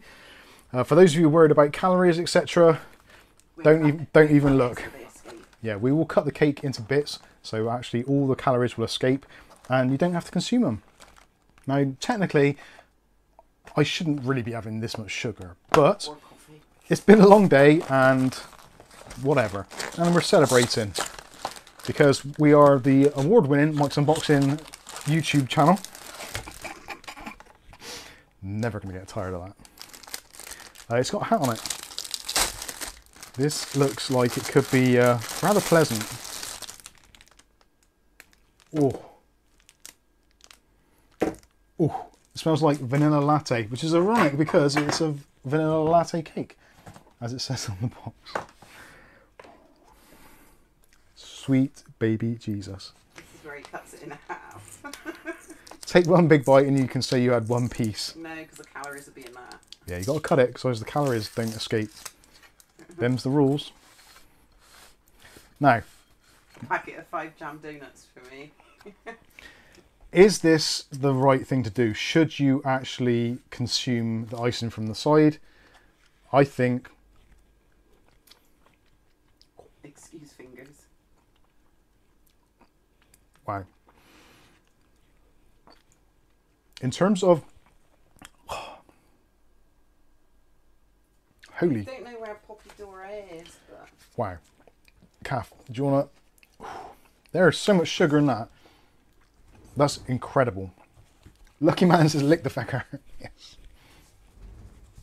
Right, let's uh, let's see what this is like internally. Not, I'm not gonna stick it in me, but well, yeah, I'm to stick it in my face. Now, do you cut it into four? No, not desktop. That's the other one. I want the overhead. Do you cut it into four? Or do you cut it into eight? That is the question. I think for my own sanity and for the uh, longevity of the stream, I think cutting into oh, excuse fingers, cut into eight I think works. A little bit of an uneven dispersal of um, cocoa on the top, so I think those are going to be more cocoa-ish than those, but ultimately, I think it should be okay. A look on the side. Do we have a soggy bottom, Bob? No. Why are you saying that? So this is all sticky, gooey coffee inside because it's coffee infused. We've got a layer of ice in in the middle. So yeah, I'm surprised I cut it actually. Uh, let's see what this bad boy is like. Where's your cup of tea? That's in front of you. It's in front of me. Let's go to the main camera. Let's see what this bad boy is like. And actually, the top half is coffee cake, and the bottom I think is um, vanilla sponge. So.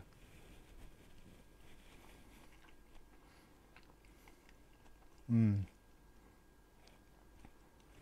Yeah, that's not bad. Everyone runs to Tesco's and buys some cake. Top half is coffee. Definitely. Mmm.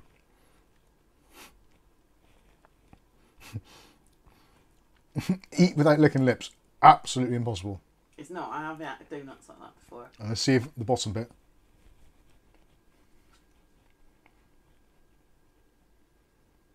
Mmm. Mm-hmm. Mm-mm-mm. Hmm.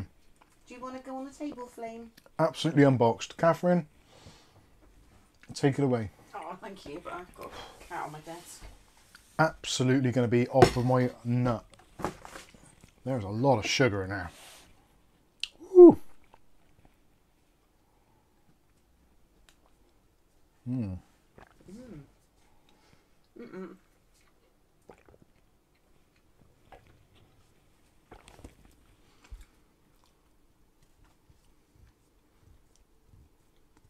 Is that today? Well, both of them. Mm-mm. All right. Uh, thank you very much, Colin, for sending the PayPal donation over. Much appreciated. Thank you very much. I should be sending you it to help out that young girl. Did I say it was a girl? I did now. See, that's why we shouldn't have sugar. He's got a cup of tea. I've got a cup of tea. Slightly uh, minging. Wifely duty already done. Okie dokie. You'll be peeing honey at 3 a.m. With- If there, if there's any, if there's any uh, justice in the world, I will be. After a stream, where I rarely go to sleep before 3 a.m. Yeah. Normally it's late. Right then, let's move on to the next thing. Now we've got an infusion of sugar. Let's get this done. So, Jonsbo Magic Fan ZF 120 ARGB, three in one, two in one. So this is a donation from Paul Hollywood. Thank you very much. Uh, sorry, Ugly Bob. Sorry. And uh, these were from AliExpress. I did say in the review, I've actually done the review on these already. I did say in the review, do look out when you're buying these because if you buy them from AliExpress and certain other UK retailers, you will pay a significantly better price than you will from some others. So do beware. There are some, I'm not going to say unscrupulous because you never know where they're getting them from to get the prices, but there are some places selling these for as much as 10 to 12 pounds per fan. Whereas you can get the five pack with a hub for about 30 quid without too much difficulty, as Bob will attest to. So, yes, let's take a look and see what we get. So, these are actually quite interesting. The pack that Bob's got, which I was struggling to find a link for, but I kind of worked out. So, it comes with this hub, which is from a company called Tucer, which I've never heard of before. And it actually seems like a, a pretty decent little hub. It's very much minimalist in what it tries to do or what it What achieves. list? Are we on track? I think we are. The list is over there. You haven't anything off for ages. I've got sticky hands now. Right, let me tick off my list. Hang on.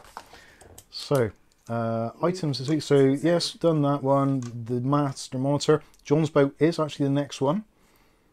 Uh, other topics, done that, done that. Um, yeah, those are for at the very end. Eat cake went on there. Eat cake isn't on there, so we may have to uh, add an amendum. It's the minutes of the stream. So let's get this on the uh, the overhead. So this little hub, it's actually cool because it's got a display on the back showing you what goes where anyway. So if you lose the instructions, which are basically lost anyway, um, there's no real need for instructions to be fair. So you've got five outlets for addressable RGB. One, two, three, four, five. On the other side, one, two, three, four, five. So 10 in total.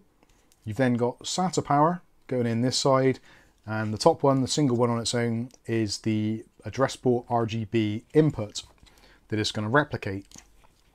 So in uh, the grand scheme of things, you get this cable, which has got a reasonable length to it. I'm guessing that is about 40 centimeters, I want to say. Let's have a quick measure. Um, well, no, closer to 50. I was way out. 10 centimeters is a lot, especially if you're trying to park. So you get the cable, 3 pin, 5 volt addressable RGB, plug that in there, plug this end into your motherboard, and then you can power all of the addressable RGB for other devices, fans, hubs, uh, not hubs, sorry, um, fans, strips, pump heads, all those kinds of things. You can do that. I'm getting greasy fingers over. So that is very cool. Those on their own normally sell for some of the region about £10, depending on where you're shopping. If you've gone on Amazon, that sort of thing, 10 quid. If you go on to AliExpress, probably two, three pounds, something like that. And then we can have a look at the fans. So you get Magic Fan, there's the three in one, two in one. So two in one, obviously, two pack. Three in one is a three pack. I think we'll take a look at the three pack. I think that makes more sense and is more visually appealing. I need 140 to my five spoons. I got a feeling they do. Um, I got a feeling they do 140s as well. I'm not entirely sure. I think they do. So in the accessories box, there is a single cable for connection. So this plugs into one of the fans on the main connector there, and that splits into a 4-pin PWM, 5 volt addressable RGB, and 5 volt addressable RGB pass-through, male to female. So one of those. You also get an extension cable. So if you don't want all of your fans actually linked together, you don't have to. And of course it comes with uh, case screws, which are unfortunately are black, even though this is a, uh, a white set of fans. Unfortunate, but not the end of the world. So looking in the fans, they come in this nice kind of styrofoam, which is always very handy. And you can see three fans. So it's pretty straightforward what they've actually attempted to do. They've kind of done it like Lego. So on the side, you've got a five pin connection. And on the other side, you've got a eight pin and a six pin. Oh, you're on the wrong camera. And you're, sh you're sh cutting out all the light. I had flame. They wanted to see cats just now. Oh, did they? Cakes. You see that? I'm wiping my nose so you can see that. We don't see him over there, are they? Wally. Cat's trying to s- sneak into the Flamey. shot. Look the other way, mate. Come on, cat auto detect. No, not, not going to do it. Better not put you down to attract everything with your He's not performing monkey, I am. Anyway, so these are the fans uh, in white. They're slightly off white. So if you've got like a, a really razor sharp, bright white case, they are slightly off white. That is something which I'm noticing more and more actually these days. That some cases are that kind of bluey white, where some are the more creamy whites. The, the Series 500, yeah, Series 500 behind me is that sort of more creamier white. So that would work really well in there. But there's some cases, I think the, um, which one was it recently? The Ions, uh, KZZ is like a really blue white. It doesn't look very good in there at all. And also the Lian Li 216 is that kind of sharper, brighter, bluer white as well. So yeah, potentially that's not going to work well. Multiple blade setup. So you've got uh, nine blade fan, opaque blades for letting RGB out, etc. Something which is slightly problematic with these is the amount of physical supports on the back. So if you've seen the review for the, uh, what was it, the Alzai i360, I noticed in there that I'm pretty sure it's almost exactly the same fans, just they connect differently. And there is a weird kind of resonance you get from those blades. And it's almost like if you watched old programs, like War, World War II programs, and you hear biplanes, there's that kind of drone that you get from airplane blades. And it seems to really replicate on these at higher RPMs. Do excuse the uh, the sirens outside. We are in the middle of a war zone or something, clearly. Uh, what's the fan bearing type, Mike? Hydraulic bearing. Uh, you can actually see part of the the makeup of it. Hopefully that's going to Can't go in the focus in okay. So you can see the steel shaft bearing. And it's a hydraulic one as well. So they've actually made it so the blades, there's a very, very close tolerance between the actual blade and the frame to keep some of the static pressure in. Uh, RPM wise, I think they stated somewhere between 800 and 1500 RPM. Mookie? Mookie. Do hubs require another program to run consistently in the background to maintain the programming? No.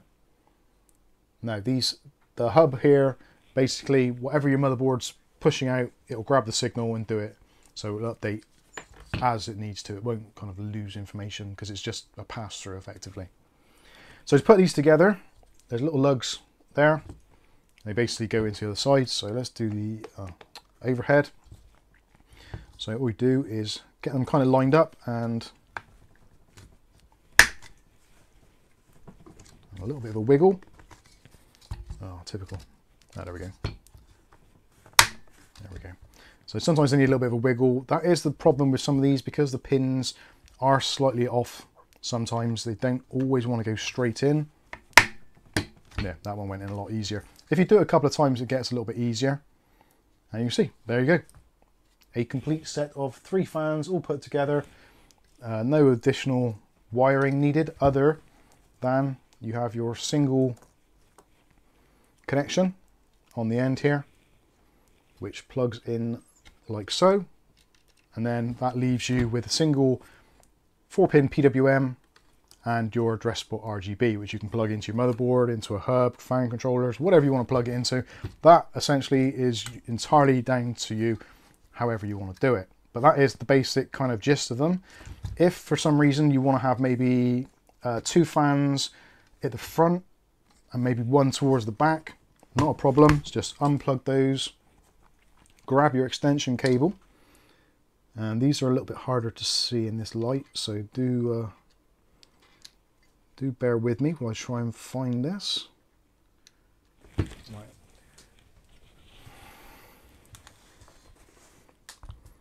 Oh, my eyes. Sorry, what is it, Flame?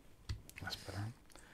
So that goes on there, and then on the other end, Do you want to come up there? on there. So you get the idea. There's basically a fly lead which connects them up. So that's going to pass on the uh, the information. There's actually a pretty decent length in there as well. So you're looking at somewhere around like 14 inches or 360 mil. So basically the length of a radiator, ironically. So two two fans at the front of your case, maybe one in the top. A little bit of a stretch to maybe get to the very back. It's I guess it's going to depend on your kind of case layout, but yeah, hopefully from that you can understand the principle behind it. And that way round. And you physically can't put them in the wrong way. It, it won't allow you to. There you go. They just snap together with a very convincing kind of dunk. So yeah, there you go. That is uh, that's what they're all about. It's pretty uh, pretty straightforward. It's actually a relatively kind of handy design the way they've done it. But the thing is, what do they look and sound like? Now this is where things take a little bit of a turn for the worse, as I probably hinted at a little bit earlier. So the noise profile of these is very unusual and I'm not entirely sure how well the noise profile comes out on camera. When I made the video, I was listening to it back and I'm thinking, I'm sure it sounded a bit different from that. But hopefully in a live stream, you should be able to hear the kind of the raw performance of what the microphone is able to hear. Some of you may not notice it at all. Again, it depends on what your hearing's like. Some people have got like amazing hearing and some people have got less good hearing. So it all is, um, what's the word I'm looking for? It's all, I don't know. I can't even think what a word is now. Too much sugar has absolutely annihilated my brain cells. So the best thing to do, I'm just going to hook these up to the PC behind me and you can hear exactly what it sounds like and see what they look like, which is probably the easiest thing to do. Ow, that hurt. And I've still got about two quid's worth of denim up my ass. Kath appreciated that. No one else did, but I, I, I heard her laugh and chuckle. Right, trying to stab myself with the Thermaltake Award from the Mike's Unboxing Award winning unboxing channel. I don't know. I don't even know what I'm saying now. Where's my bloody torch gone? I had it a second ago. There it is. Sorry. Right, I got. I got to see where the connectors are. Oh dear. God, that cake has got so much sugar in it. Have you, have you had a piece? Yeah, Just the one. yeah. One's enough, isn't it? Normally we'd do a cake like that. Each. No, we wouldn't. I- I'm kidding. Wow. I'll tell you what. Bang! Thank you. That's actually better than Red Bull.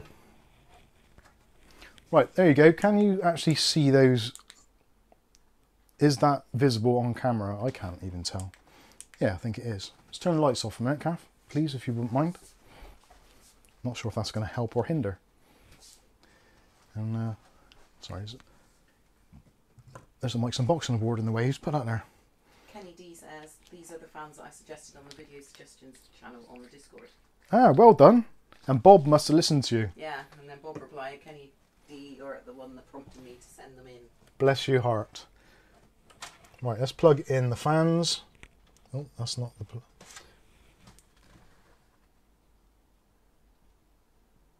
So there they are, spinning away.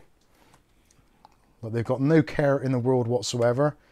And at the moment, they're set to the lowest possible rating. So let's uh, give you a listen to that.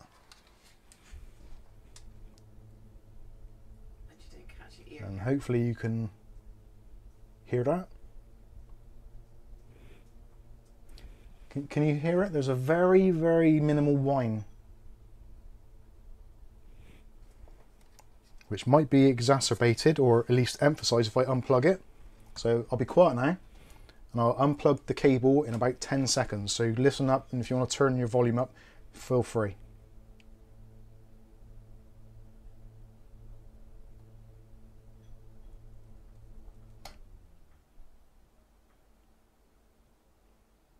and there you go I've unplugged them so you can there's definitely um, some sort of turbulence thing going on with that design it's hard to hear it and if you've got a PC which has got other fans in it it's probably going to be quite hard to do anyway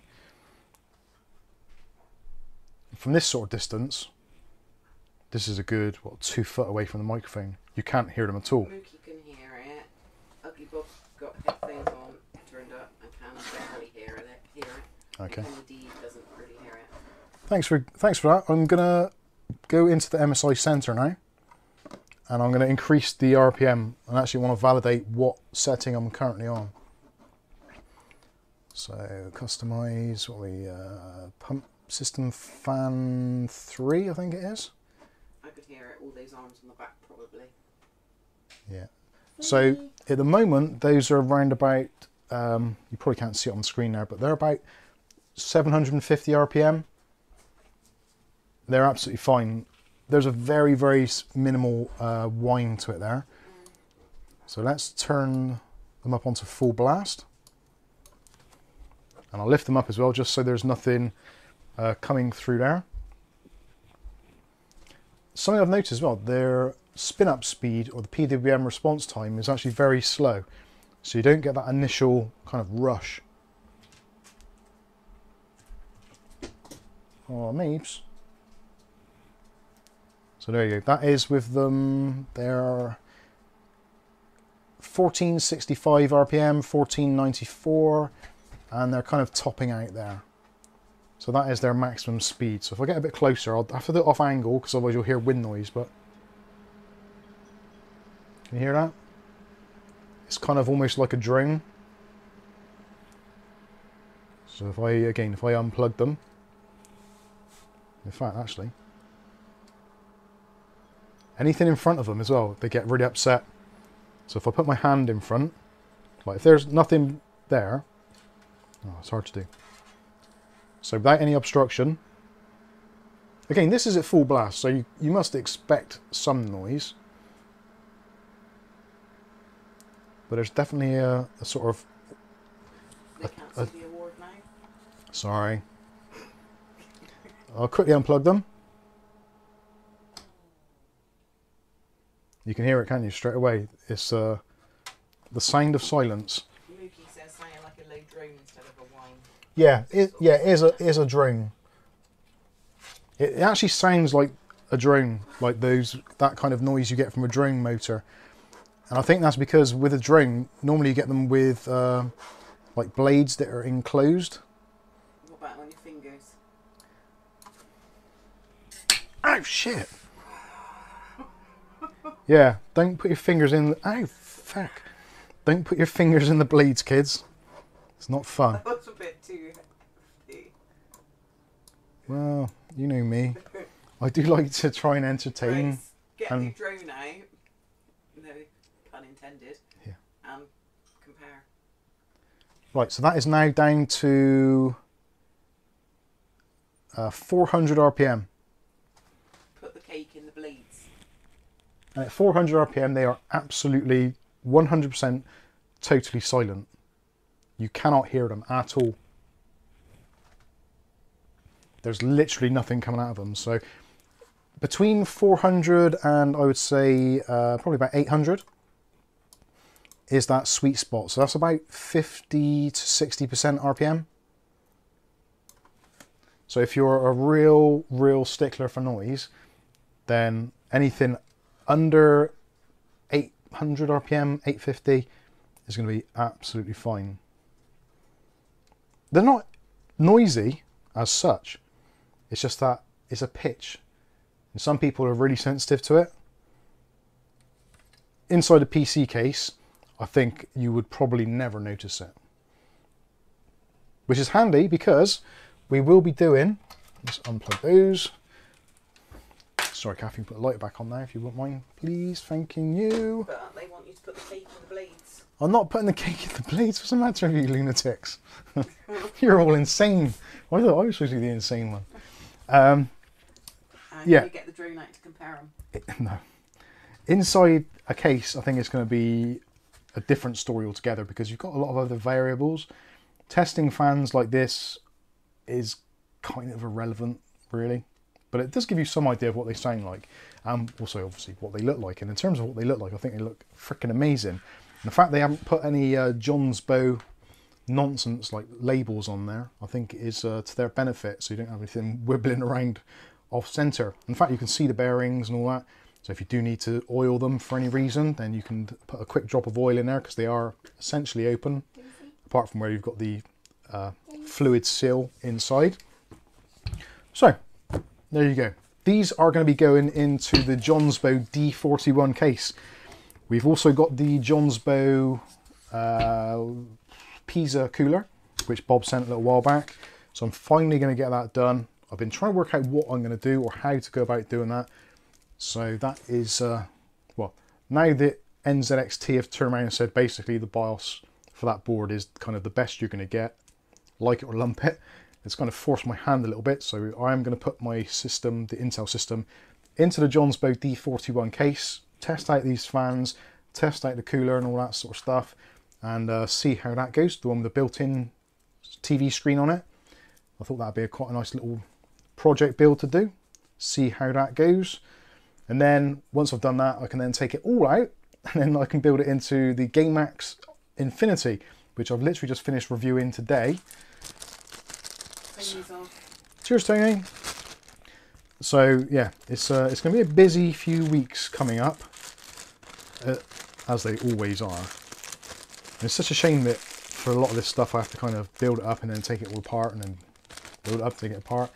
But potentially it could have a, uh, a slightly silver lining on it because if we uh, try and get some bits together for uh, Colin's project, then hopefully we can uh, work something out along those lines. And the weather's always.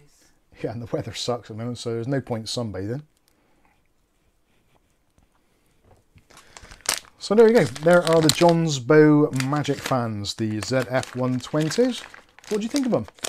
Honest opinions. I know Bob's in the chat, so if you don't like him, you don't want to offend him. But to be honest with you, Bob is a big grown-up now, and uh, I'm sure with his uh, work history, he's suffered much, much worse than anything that you guys can come up with. I personally think they're actually very good. I'm a little disappointed in the, the frequency of them, but ultimately it's a relatively inexpensive fan set. If you think you're getting five fans plus a controller for about 30 quid, which is considerably better than pretty much I can't think of any other brand which it comes close. The closest I can remember is probably the uh, the upHere ones from ages ago. Like uh, I think that was pre-COVID, and that was thirty-seven pounds I think for a five pack or six pack with a hub. And th- they weren't perfect. They were pretty decent, but considering times have changed dramatically, I think they're uh, they're pretty cool for what they are just have your um, have your expectations somewhat tempered. They're not going to be silent because they're not that kind of fan. You, if you want that sort of silence, you're going to have to go for something like the Arctic um, P12. Those are probably amongst the best in the market. Very quiet, even under high RPM, or Stump Up for Noctuas, which are ridiculously expensive. Bob says he's a big boy, he can take it. Funny, it does say that in the toilets. Rick H says, nice fans, Mike. Awesome. Uh, don't say that, they'll send you a Jonsbo Award. Yeah. Just keep on racking them up. You'll have to put a new shelf in. No, that's never going to happen. Well, You unlikely. Did, you did have um, a sort of a camera award once, didn't you? Did I? You had that little camera with Mike's unboxing written on it. Oh, yeah. But that's not really an award, was it? It's a kind of. I've actually got another award down here. Oh, it's fallen off.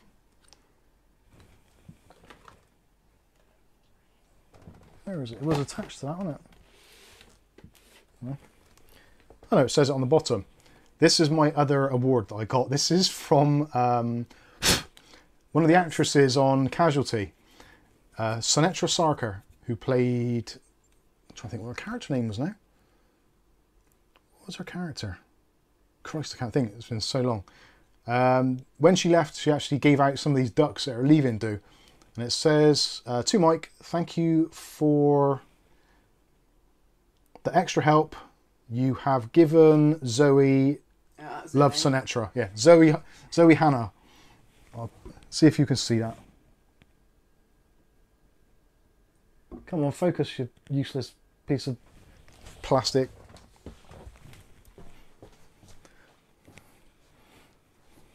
No, you did. You did get some award. They were putting it all through Facebook when we had our Facebook page before it got taken down.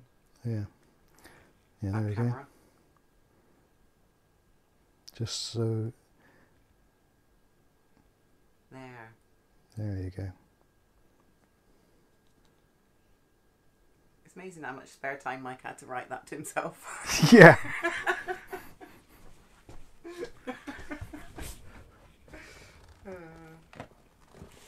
Fair play. There was actually some uh, very cool people who worked on Casualty. Unfortunately, they were the m- minority rather than the majority. Uh, Bob says, "You flipping wrote it."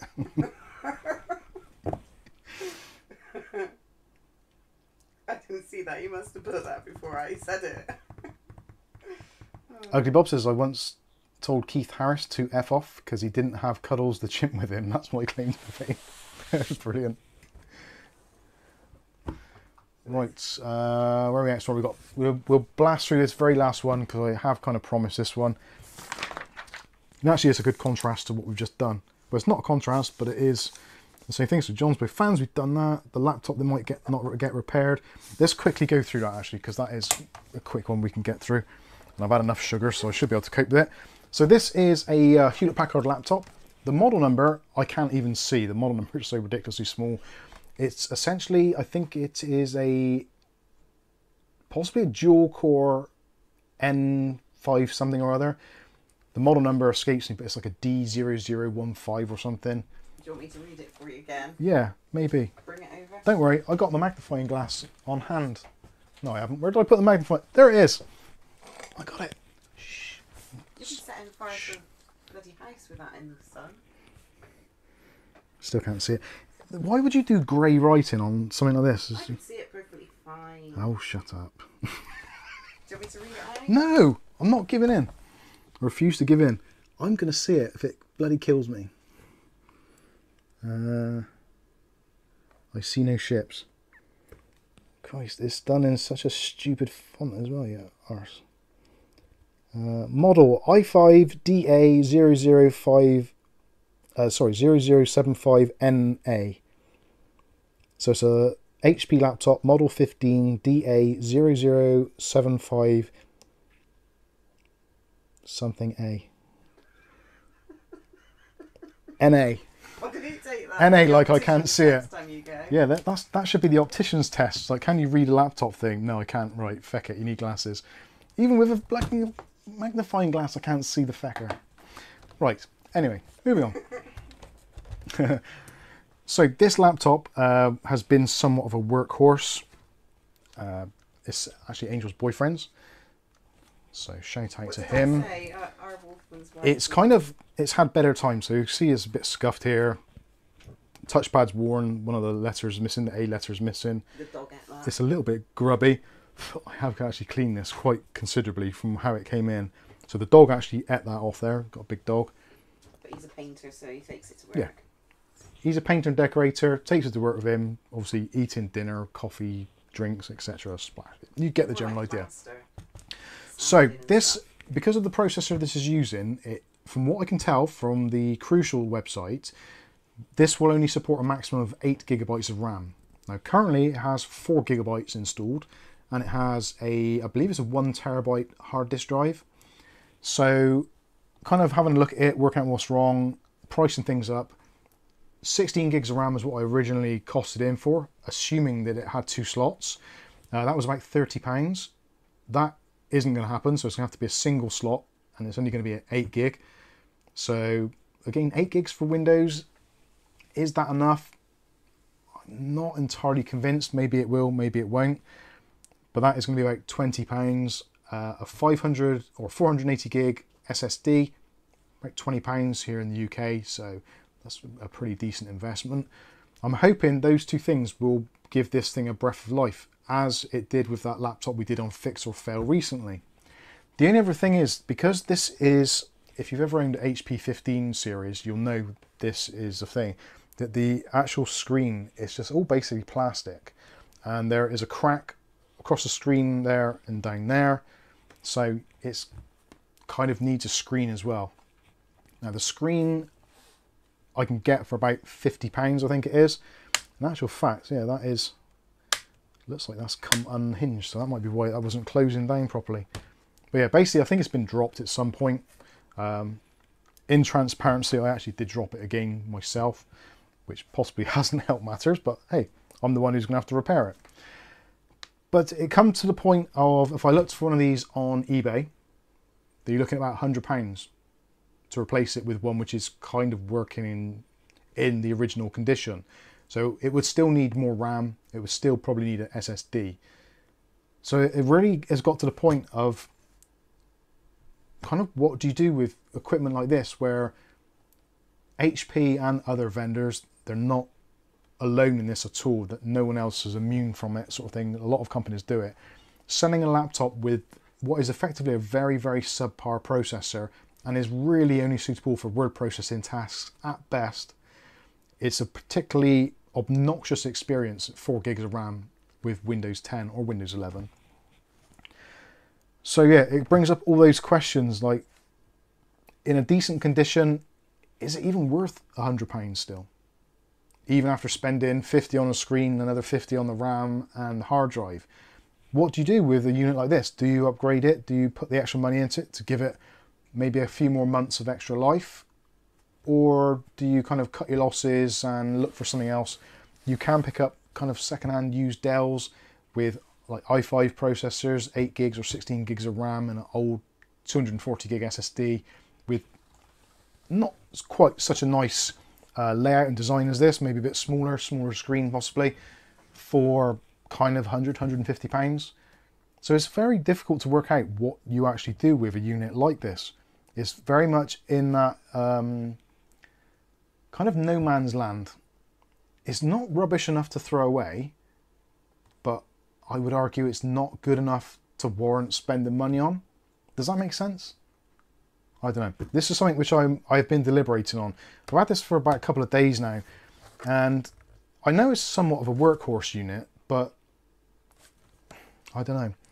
If you were taking it to a shop to be repaired and you had to pay for the labour, etc., the labour would probably be worth more than the laptop. So what do we do with units like this? There's You can't really strip it down for parts because kind of the parts aren't really worth a great deal. And the, in this particular instance, the RAM is only 4 gigs, which is kind of almost useless. The battery seems okay. The charging port I've already fixed. That was a bit loose, so I've actually put some uh, JB weld in there to hold it in place, and that works actually much better now. But yeah, a difficult one to, to know what to do with. I've ordered the RAM and the SSD anyway. And I think the first thing I'll do is I'll install the RAM, see what the performance is like, see if it improves it at all, if it does a little bit, I'll then try an SSD as well, see what the performance is like then, and then kind of make up my mind whether or not we're going to do the, uh, the screen as well, or whether or not they can live with the screen being as it is. That way we're only kind of £40 in, rather than being 90 which is a bit much. It for watching YouTube. I think that's all they watch. That's, yeah, literally Netflix, Netflix and YouTube and And, and Snapchat. he doesn't have a mobile phone, Yeah. so that is basically what he takes around with him to watch things on as he works and stuff. I can see there in your comments, yeah, I hate laptops. Uh, one terabyte SSD in there, that would be nice. I think that's what it needs. Uh, it only has Intel H, uh, UHD graphics 600, so 8 gig probably okay. Yeah, because the Intel graphics will share like a gig, so it gives Windows a little bit more breathing room. It's a shame if anyone's actually got one of these and tried it to see if it actually supports 16 gigs on a single stick. That would be very cool because I think that would make a bit of a difference. Vialis is, is it, how'd you say the name? Like, Who? Viali? Oh yeah, Vialia. They repair quite a few of them. Yeah, the SSD and RAM will make a huge difference. Well, we've got it coming in. That's going to arrive on Monday. Got that scheduled for delivery Monday. So I'll do the RAM, I'll do the hard drive, I'll do the recording of the videos as well, and go through this basically this entire process again. And uh, yeah, see if we can breathe a little bit of life into this, just so it's going a little bit longer. It's actually ironic because the laptop I bought, the HP, was it the G250 or the HP 245, literally the, exactly the same layout as this, just a smaller screen. So yeah, it's very easy to get into and work on anyway. So that in itself is uh, is pretty cool. How much is Um, the newer version? Oh, actually, the uh, the jack for the uh, Ethernet was broken as well, so I've managed to repair that by using JB Weld. That is actually in there. I I honestly don't understand how bad this is. There's basically two bits of plastic with a bit of metal across, and of course, every time you flex that, the metal is just dying to snap off, which I think it did, which is potentially what caused it to not charge because the charging port is right next to the that jack. So I think the metal shorted out. That's why it wasn't charging. Because originally it just it was no display or anything. So we have done a little bit of work on that already. Uh, hopefully we'll do a little bit more and uh, hopefully try and resurrect it. It would be nice to get it up and working. I did kind of get to the thing of like sod it. I'll just give him my laptop, be done with it, and just forget I've ever seen that thing. But it is kind of an interesting thing to do. Uh, Ugly Bob, um, you you could swap the HD. Is this working? Hello, McFry. McFry! Um, Ugly Bob. You could swap the HD into another laptop. That to me. Not sure. O'Reilly says recently got HP laptop PC 15S, uh, Intel Core i3 1115 G4 processor, 8 gigs RAM, 256 SSD, 6, 15.6 for work, which is about 350. Yeah, it's quite a jump, isn't it, to get something like that. I've seen a few of those about, and I've, I was kind of interested, but we'll see. I'm tempted to install um, Chrome OS on it, being that all they do is Netflix, uh, Snapchat. I think probably Chrome OS will do that quite nicely, but then it has to be connected to the internet, which is a little bit unfortunate. But we'll see. Hey ho. Uh, O'Reilly says, I think the supported RAM capacity is hardware limited with HP BIOS. Typical.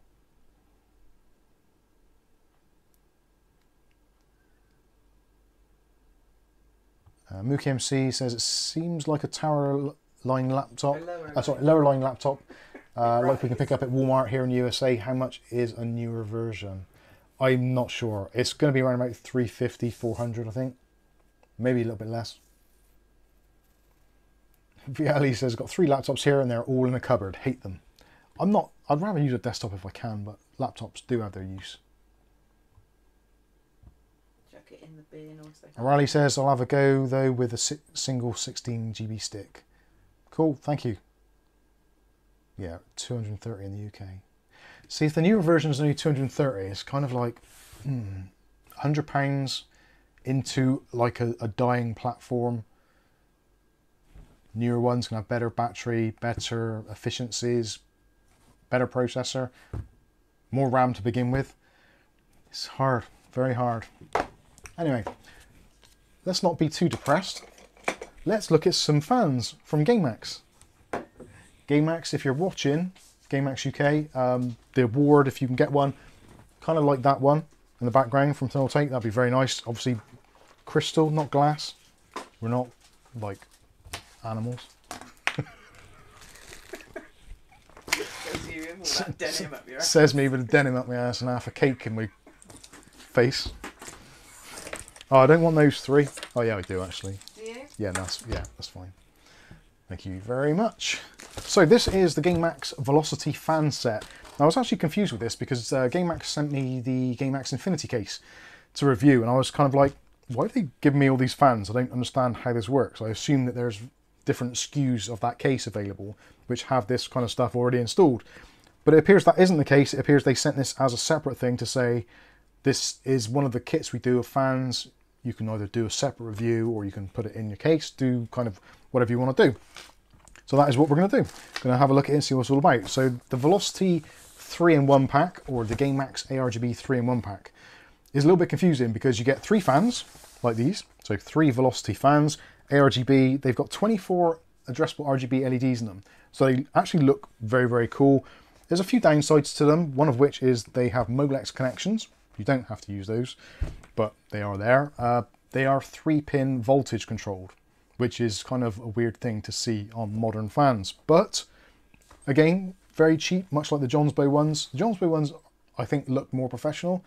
These look arguably a little bit more kind of gamery, if that's a thing.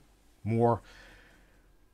Well, these are of an era, let's say. So up to kind of 2018, 2019, 2020, this was the sort of fans which were flooding the market with this type of look.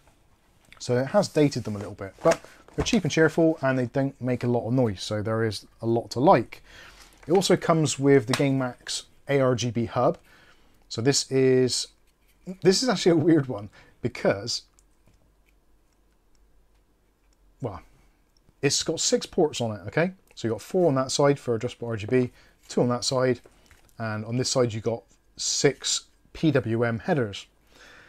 So this is where it gets really weird because I plugged in a PWM fan on there and it just went nuts. It went to like 100%, and I was finding it extremely difficult to control. It does come with a remote control as well, which has three dedicated fan speeds, so there's a slow, medium, and high. Now I found that these fans work perfectly with this hub, like perfectly. Plug them in, go into your motherboard, go into MSI Center, choose uh, PWM control, and you can control these things down to I think it's like 400 RPM. And they max out about 1500, I think it was. Yeah, 1500. So absolutely amazing PWM control from total silence up to moving a little bit of air. And uh, but weirdly, they don't give an RPM if you plug them into the hub. If you plug these in directly to a motherboard, you can control them via DC or PWM, and again, you get the full range of them, and you can still get them down to about 400 RPM. So the fans themselves are actually pretty darn cool. The hub itself is a little bit mental, and there's a few things to kind of get your head around. One of which is normally on these remote controls, there's normally a button in the top says MB, which switches from motherboard control to remote control, which makes sense. Not Mike's boxing. No. And uh, this doesn't have it. So if you plug in the 4-pin PWM or the ARGB header into your motherboard, it automatically passes through. And it almost entirely ignores the remote control unless you press the off button, then turn it back on, then you can manually control the fans, which is weird. But not with the PWM. If the PWM connector is connected to a motherboard, all control in terms of fans, even though you've got three buttons on there, is done through the motherboard. So essentially, for this particular instance, I would say don't plug in the PWM controller. It's probably not worth it. Especially if you're using other fans. I would probably not use this hub with other fans. I did this review on this before and uh, it was a little bit weirder then. It was a different version. This is version 2. Version 1 did have the MB button so you could switch control but the fan RPMs just didn't work properly at all. But bizarrely with these velocity fans or any other 3 pin fan they work absolutely flawlessly. But with 4 pin fans not a hope in hell.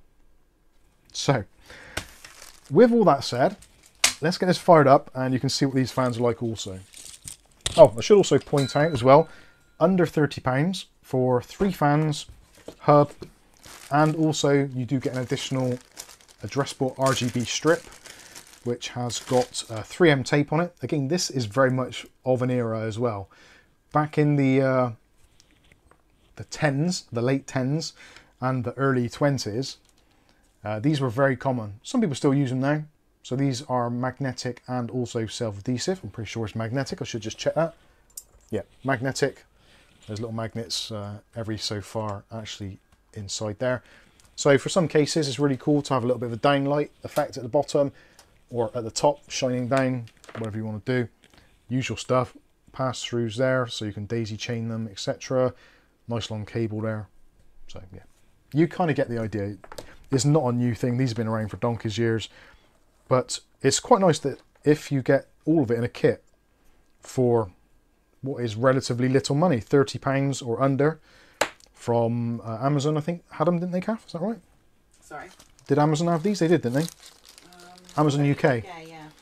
So yeah, under £30, so three fans, a controller and an, a thing. So if you say the hub's worth, I don't know, well, you could say that everything is worth like six, seven pounds. The fans retail for about six or seven pounds on their own.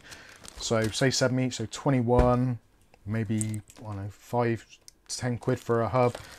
These on their own are normally about four or five quid. So it's not a huge saving, but it's actually quite a nice little bundle. But the thing which is most impressive is what these fans actually look like powered up, which I should show you now. But I'm going to have to work out how to do this. So it might involve a screwdriver and you seeing my butt crack again. But it's all in the name of science, so we'll do it anyway. This is one of the things I like actually about the, uh, the Thermaltake Series 500. A couple of screws, and I've got full access to my uh, power supply. Viali says would be good if we could upload pics of our PCs. Discord. Yeah, you can. Yeah, on the Discord, you can upload the pics of your PCs. Do it to your heart's content. Bang. Right, let's plug in a couple of these. Yeah, Molex connectors and a uh, a three pin. It's not a good start, is it? But bizarrely, it works really well on this hub. And Mike, can you, not you, but Hi. Mike on there, Yeah. just bought the Razer. Uh, Mike. Just bought the Razer Chroma ARGB controller off eBay. I'm just so confused by GameMax controllers. And they're like, yeah. GameMax controllers are very much a bit of a kind of a dark art almost. Which is what which is why I quite like this as a set. It kind of takes the guesswork out of it because uh, very much like Nvidia stuff, it kind of just works. it doesn't. So there you go. There is a fan lit up. And currently we, we're not plugged into the motherboard at all. So it's completely separate. And it's actually moving quite a lot of air, surprisingly. And noise-wise, just the normal sound of air, which is pretty cool. Nice as well the fact that you can mount these either way up. So if you have it fan facing down, you still get RGB lighting. Fan facing that way, you still get the RGB lighting coming through. So wherever you mount them that way or that way, doesn't make any difference. paler, it? It is a little bit paler on the back side. 'Cause I think the RGBs are mounted towards the front and being that it's just opaque, it shines through. So let's go with auto. This is what I was saying earlier about the addressable RGB. So now you can see all of the like individual LEDs. fan. Sorry? Looks like a Sharkoon fan. Yeah, it kind of does actually, yeah. Like one of the Shark Eyes ones. So it's got a really nice look to it. And again, you can kind of almost count the individual LEDs. So you can get all of the colours on there at the same time. I really like it. I like this design. I know it's a little bit older now. I'm pretty sure these come out in 2019.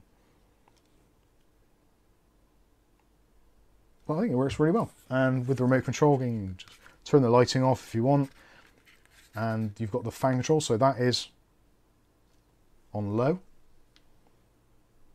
which is pretty much whisper quiet medium and I like the fact you get a bit of feedback as well. So when you press a button it flashes to say yep I've received your information. That is good. I like that. Because otherwise you're kind of like have you bloody worked or not so that is on medium. Oh yeah, it's changed caps as well. A little bit more noise there, but more of the sound of air moving than the actual fan blades. There is a bit of noise in the fan blades. And full speed.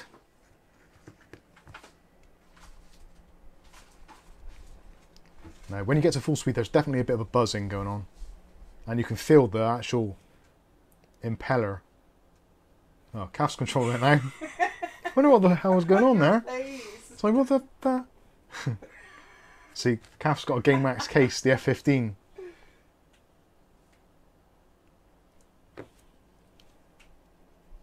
Can you do speed?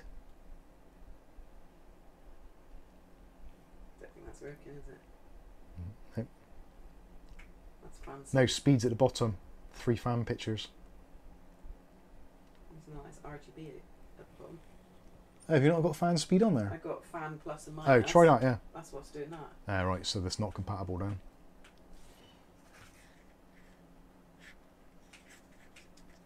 Alright, stop it. You're going to press it again, aren't you? You want to press it, don't you? Just turn it off now. Great. Right.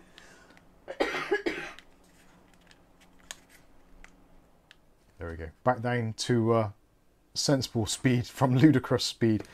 So yeah, I think these are actually really cool. No pun intended because they're obviously they are fans. So you've got multiple blades there which actually does help. They've not got the highest of static pressures to them. And they maintain bizarrely that they move i think it's some crazy amount in there. They're saying uh, 94.3 cfm i Yeah, I've no idea where they get that figure from. 94 CFM. I've got no way of measuring it, so I can't say categorically that they don't. But I find it hard to believe, being that some of the best fans on the market don't do that. And it's not as if they're moving a lot of air, like on full blast. It's not like a hurricane. Is moving a decent amount of air. And I think what they've done right as well, the blades on the back, only four blades, like with the CT 140s earlier, that is going to make airflow much better. It's less uh, restricted or impeded, and there's less risk of turbulence. But most people are probably going to set these to low and be done with it and just enjoy what they look like. And it, even at low speed, they are moving a reason. I can feel that quite happily. It is moving some air. So yeah, I think this is a pretty decent option as well. If you don't necessarily want the full flexibility that you get with PWM and individual ARGB controls like with the Jonsbo fans, this I think is a good contrast to that because there's always that thing, I love it when I sell a PC. Somebody comes round and they look at it and they're like, Ooh, pretty lights and all that kind of stuff. But then also you say to them, oh, put like pass them the remote control and I say, well, change the lights if you want. And they're like, oh, colours, RGB. Stuart's bought a teddy bear. Stuart's bought a teddy bear. Yeah. Thank you, Stuart. Why? Oh, what the teddy bear from the uh, the Kath and Mike teddy bear? Yeah. Oh, bless See you. what I look like. But I've been a few videos at the beginning. Yeah. If you want to see what Kath looks like, look on the Mike's Unboxing channel and just to search for snow, and you'll see Kath hula hooping. Or actually, search for hula hoop. And There's- I was in the one waxing you, Yeah. and I was in. The hula hoop one's the best. You can see, you can get a better That's idea. just me. But I've got a weird bit of hair just hanging over my ear. Weird. It was snowing. Anyway, I like the look of these. I think they're pretty darn good. Colin Um, stick with his Lian Li ones. I think you've made the same choice there, Colin, to be fair. But if you think of it, the Lian Li ones, you're probably paying £30 almost for a fan. Whereas with this, you get the whole set. So there is the, uh, the economy of scale if you're perhaps needing a lot of fans. But as with everything that is PC, it is always going to be a matter of uh, just get whatever suits you. If you like it and it works for you, that's freaking awesome. Uh, I think these. I kind of miss the look of these type of fans. We don't see this enough these days. I'm trying to think of the name of it. There wasn't like a name they gave this style of fan. It's like turbo something.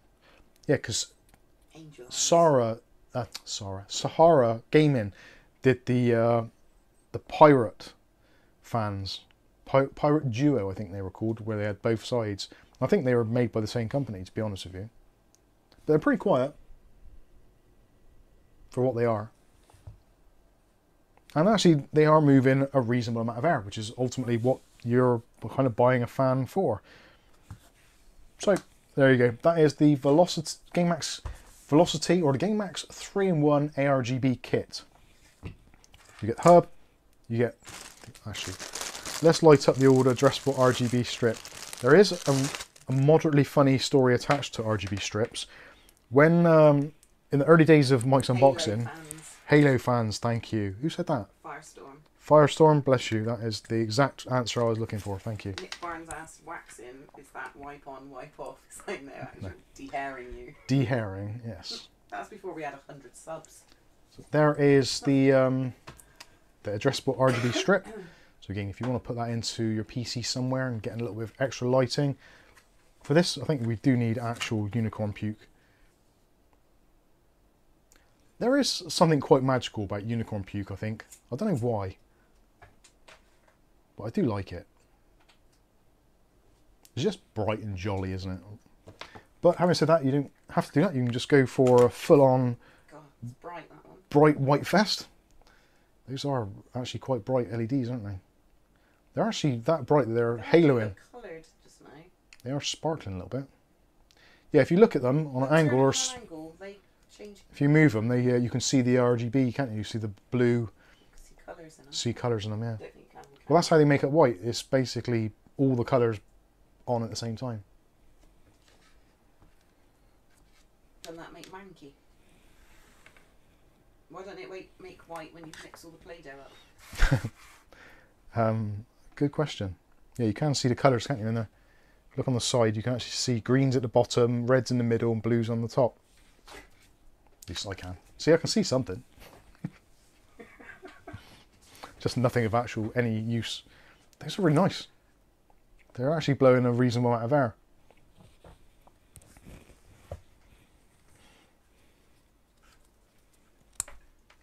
Anyway, that's enough of that nonsense. Let's put that away.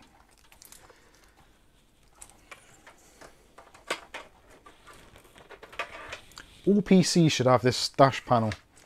I think it's a, very good idea. And especially when it's moderately functional as well. I think I need to actually. Oh, that's what. Yeah, Bob got those, didn't he? Those little magnets. I could put magnets on there to magnetize that, so I don't have to put screws in every time.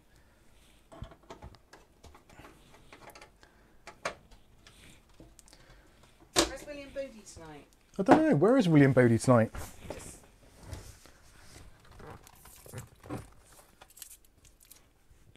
Yes, unlike Mr. Bodie, he's probably got a family visit. What's happening in Germany at the moment? I don't know. he might be working. He might be working. You never know. Day. It's, it's Balloon Fiesta. What's Balloon Fiesta in German? Um, Because you can speak fluent, can't you? On your CV. well, balloon is balloon, isn't it, in German? Is it? Yeah, I'm pretty sure it is. Because remember na- that uh, 99 balloons, 99 Luftballon. She wasn't German though, was she? Yeah. Hey Siri. What is the German word for balloon? In German, balloon is Ballon. Ballon. Thank you very much. Bless your heart. Um, what was the other word? Festival. Yeah. Hey Siri. What is the German word for festival? Ballon Fest. I found two results in German for festival. Fest. Ugly Bob must be Hang on. so. Fest. Festival. So it's basically balloon f- festa. No, yeah, balloon fest or balloon festival. No, there, Ballon. Ballon Fest. There, absolutely fluent in German. Ugly Bob must be fluent. And how many languages can Ugly Bob speak? He knows them all. When he gets drunk, he adds a few more to it that don't even exist. New undiscovered languages. Oh, He can speak fluent ass should be in politics. of the beers. Four languages, five when I'm drunk. Nice. Colin Hilton says, at Cath Churchill, I could do with some slimming tablets to get rid of my spare tyre. If only it was that easy. If only. We wouldn't be doing YouTube if I could Yeah. make slimming tablets. If, if, yeah, if there was if there was a thing such as a, called a slimming tablet, um, the world would be a very different place, and there's somebody somewhere would be an absolute trillionaire.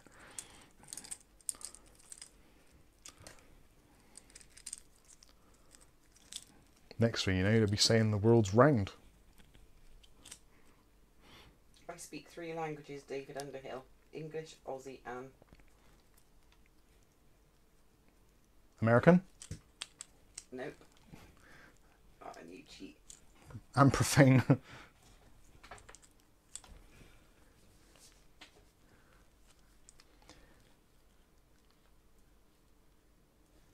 Twinkle in the seventies. Einstein Red Balloon song by Twi- How was it in the seventies? The only one I ever heard was um, Nina. Yeah, Nina. 99 Love Balloon go by. Didn't know she was German though. I thought she was I think she was. I'm pretty sure she was. I could be wrong. ask. Was hey Siri. hey Siri. Was Nina of the 99 Luftballons fame German? In German, Nina of the 99 Luftballons fine ist. Nina von den 99 Luftballons in Ordnung. That's right. You you've got the question right, Siri. You get you get another day. Oh, Viali, I'll make him. Viali Cafe is now making you a member, so you can post pictures in La Discordio. That's Italian, not German. Should be able to do it now. There you go. Right. Wow, packing away things is fun. Ich bin crank of doing it now. Nina Owenby German. I didn't Yes, I, I thought she was. I knew she wasn't English, but I didn't know she. Of course she's German because she got 99 Luftballons. You don't get 99 Yeah. Luftballons as a bloody no English balloons, person. It was just balloons, red. There was no love in it. Well, there was in the German version. I'm sure there was a different version and it was German. I don't know. I give up. I'm too old for this. Sing Joe le Taxi then. Shoot a taxi! oh, that hurt. That really hurt.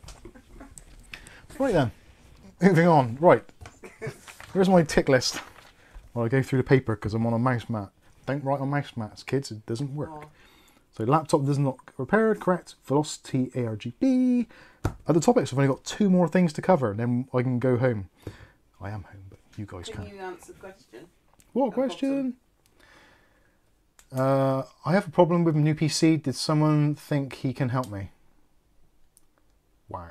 Um, bit difficult to do on a live stream, but if you want to head over to our Discord, which Kath is now going to put a link in the chat. I don't think there's one recently, but we will put a link in our Discord chat so you can ask your questions.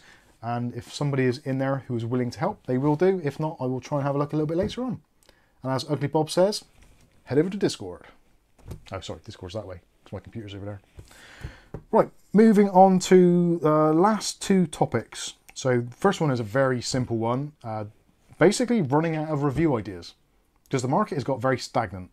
There's not really a great deal happening. Now, fortunately for us, it's been a bit of an upturn in cases at the moment because there's a lot of different cases on the market. I think shipping costs have come down a little bit, so we're starting to see more cases coming into the market, so that is a good thing. We've got two case reviews coming out, uh, which we've done this weekend already. So that's the Ions KZZ, which we looked at previously in a uh, stream, and also we've got the GameMax Infinity. So those two are coming out shortly. Of course, we've had the Thermaltake, the Series T500. We also had the Ceres 300, uh, the Ceres 500. I'm sure there's another one we've had. Oh, the one from um, Asus, the AP201. That's also out as well. So there's a few case videos coming out. Those are starting to kind of appear slightly more regularly now, so that's a good thing. But what other things do you want to see on the channel? You don't necessarily have to answer now in the comments. Uh, chances are I probably won't get to see them all anyway.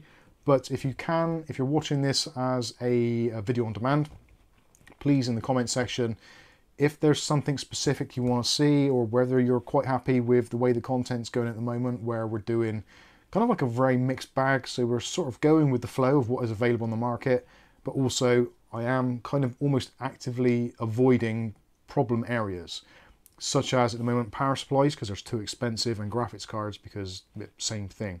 So on the done a couple, yeah we? on the on the budget side of things, happy to take a look at things. On the upper end, I still feel that there's a lot of things on the market. Obviously, 4000 series and even the 7000 series Radeons, uh, 4000 series NVIDIA, 7000 series Radeons. I still feel don't really deserve that much kind of coverage at the moment because of the pricing. So, um, okay, David Underhill, good idea. That is definitely something we can take a look at. So yeah, there's a there's a lot of things. that- There's things I want to look at, and there's things that I don't want to look at, which I do to some extent feel bad because I shouldn't really be dictating what you get to see. But on the flip side of it, I think that if there's something which I'm interested in or I'm passionate about, then the video is going to be more beneficial to you because I have actually got a vested interest in it. And it's either cost me money or I'm trying to make a recommendation. So that is what I'm trying to do. And also, we would like to do more fix and fails, but Yeah, fix and fails are very hard to do because basically people don't want free help.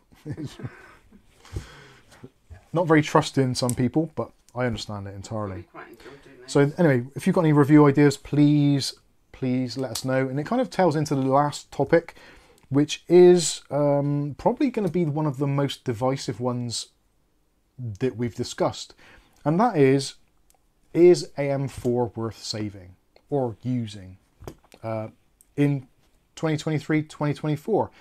There's going to be a massive debate. Obviously, M4, they've released essentially the last processor that it's likely to see there may be some rejig of older stuff on the market, but stock is starting to run out. Motherboards, especially, not going down in price. If anything, they're starting to rise again. You've got the usual ones the B550 Gaming Plus, the uh, Gigabyte Gaming V2, uh, what was it, Gaming AX, those kinds of things we've been there, done that. They're still very popular and they still sell very well. They're in the top 10 list on Amazon, etc. So those are still things which we might revisit, but prices are basically the same as what they were when we recommended them previously. So not really a great deal to change there at all. But I wanted to really kind of gauge the viewers' response to it. AM4, do you still want to see AM4 stuff? Um, do you still see it as being a valid platform. I know there's going to be some of you out there watching which are maybe still on AM3 or older uh, Intel Core stuff, in which case AM4 is something you actually aspire to get onto. Totally get it. But in terms of the mainstream, especially uh, England, Europe, kind of we've got to the point where AM4 now, we know it's a dying platform. It's not dead as such, but it is basically not going to get the same amount of coverage. As soon as the motherboards are gone, most of the manufacturers, uh, MSI, ASRock, Gigabyte, Asus, have all come out at various times and said that they're not putting any extra resources. If anything, they're going to be actually reducing resources on product lines, product development, and also product updates for the AM4 platform. So potentially there is still going to be some life left in it, but we're going to see diminished updates. It's going to be mostly security updates. We're not really going to get any more advancements in terms of the platform, which it doesn't really need because it is a very mature and a very nice platform. And I've said it before and I'll reiterate it now just for clarification. If it wasn't for the fact that I do YouTube videos and I needed to try AM5 to see what it was like, there's no way on God's green earth that system would be there. That would still be an AM4 platform, probably the 3900X or the 5800X, maybe even a 5600X, because I don't really need much processing power in there. The fact I've got a newer platform, yes, is great, but with that does come the other things, which obviously the bug finding, the crazy stuff going on. Weirdly, at the moment, after installing the RX 6600, it's as stable as I've ever seen it. So it's kind of odd. Normally, I get to this point where I've started the stream up and I'm like, oh god, the cameras are all going crazy, or I've got this low FPS thing going on. Tonight, set up OBS, done lots of other things, went away, did other things, added the monitor, etc. And it's been absolutely rock solid. And it's still, the CPU is using 0.1% CPU. We've dropped absolutely zero frames, and OBS is running in H264 rather than H265, so it's actually having a harder job.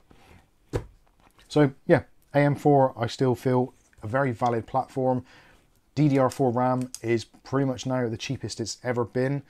Potentially we might see kind of one last hurrah when it comes to? Prime Day. Hurrah!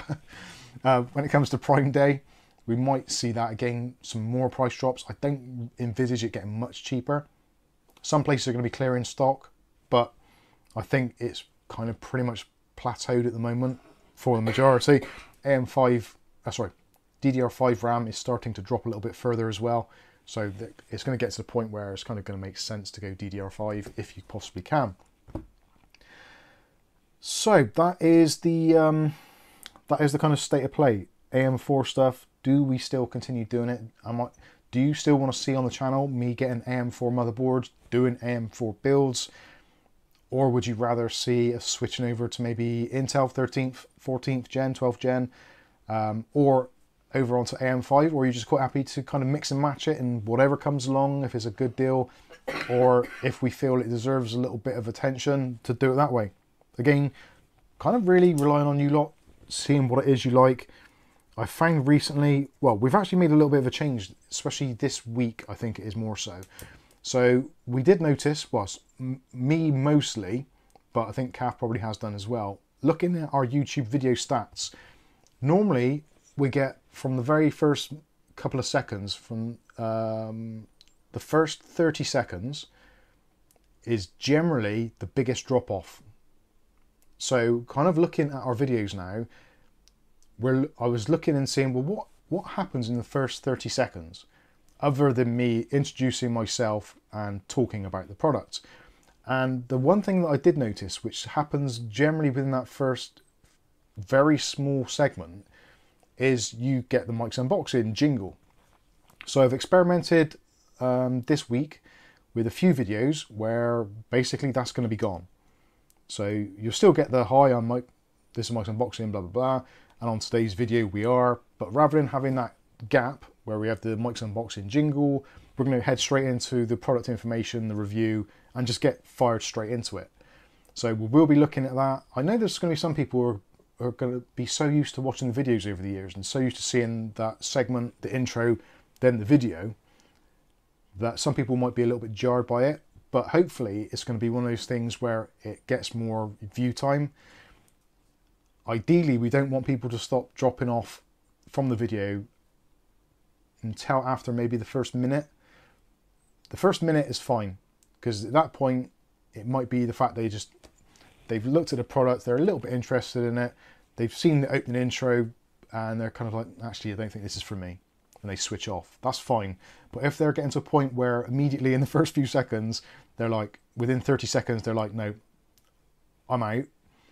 That's not good for obviously retention of viewers and YouTube passing the videos on, etc. Because YouTube looks at it and says, well, people don't want to watch after 30 seconds, so screw you, basically. So that's not what we want to do. So that is what um, I'm attempting to do. It's tough because I'm so used to saying it. When you've been doing something for so long, normally anything you do for 30 days or more becomes a habit. And I've been doing the Mike's Unboxing intro for what, three years now, at least in the format it is. I'm looking at Kath and she's like, It's longer than that. it's probably like four or five years, isn't it? Most of it, I think. Yeah. So, Kath always wondered why I did the intro the way it was and why we had that little bit. And to be honest with you, I think I was mostly trying to copy other YouTubers and it seemed like a cool thing to do. But in hindsight now, I understand that from my own viewing, if I watch a you video, like a two-minute how-to video, people don't want. yeah, you, d- yeah, you, Waste thirty seconds of watching. if you're trying to work out how to change the time on your Fitbit, you don't want to have a five to ten second jingle. You just want the information or to get in towards the information. So that is what we're trying to do. Uh, Nick Barnes says, What about the intro first? I mean, it's your signature, just like the Halo for Roger Moore. Well, what we've done is, um, in Put order. the jingle in the closing credits Yeah. and include a clip of the award. Yeah, that's true. That. No, I might, yeah, put the put the jingle in the closing credits and include.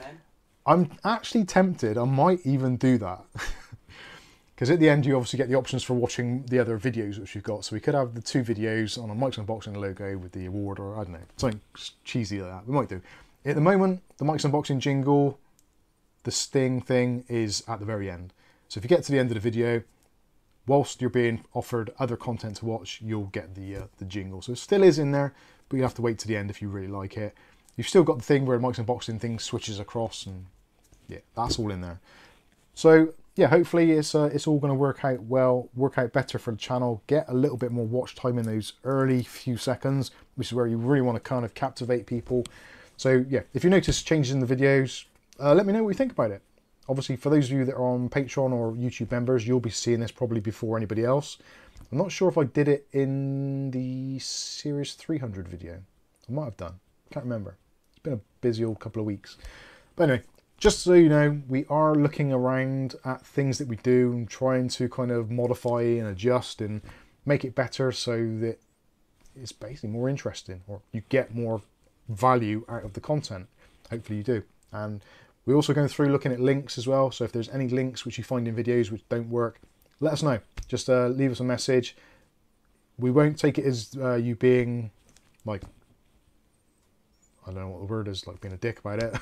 it's it's it's one of those things. It happens. Links do fail from time to time. Products get changed. So please do. If you watch any of the videos, click on a link for your country.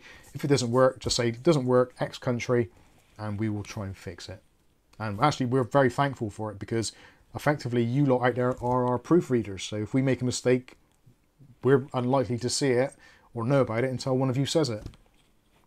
Or until you edit the video and I've not noticed Yeah. the motherboard box is upside down. Yeah, That that was one of the classics.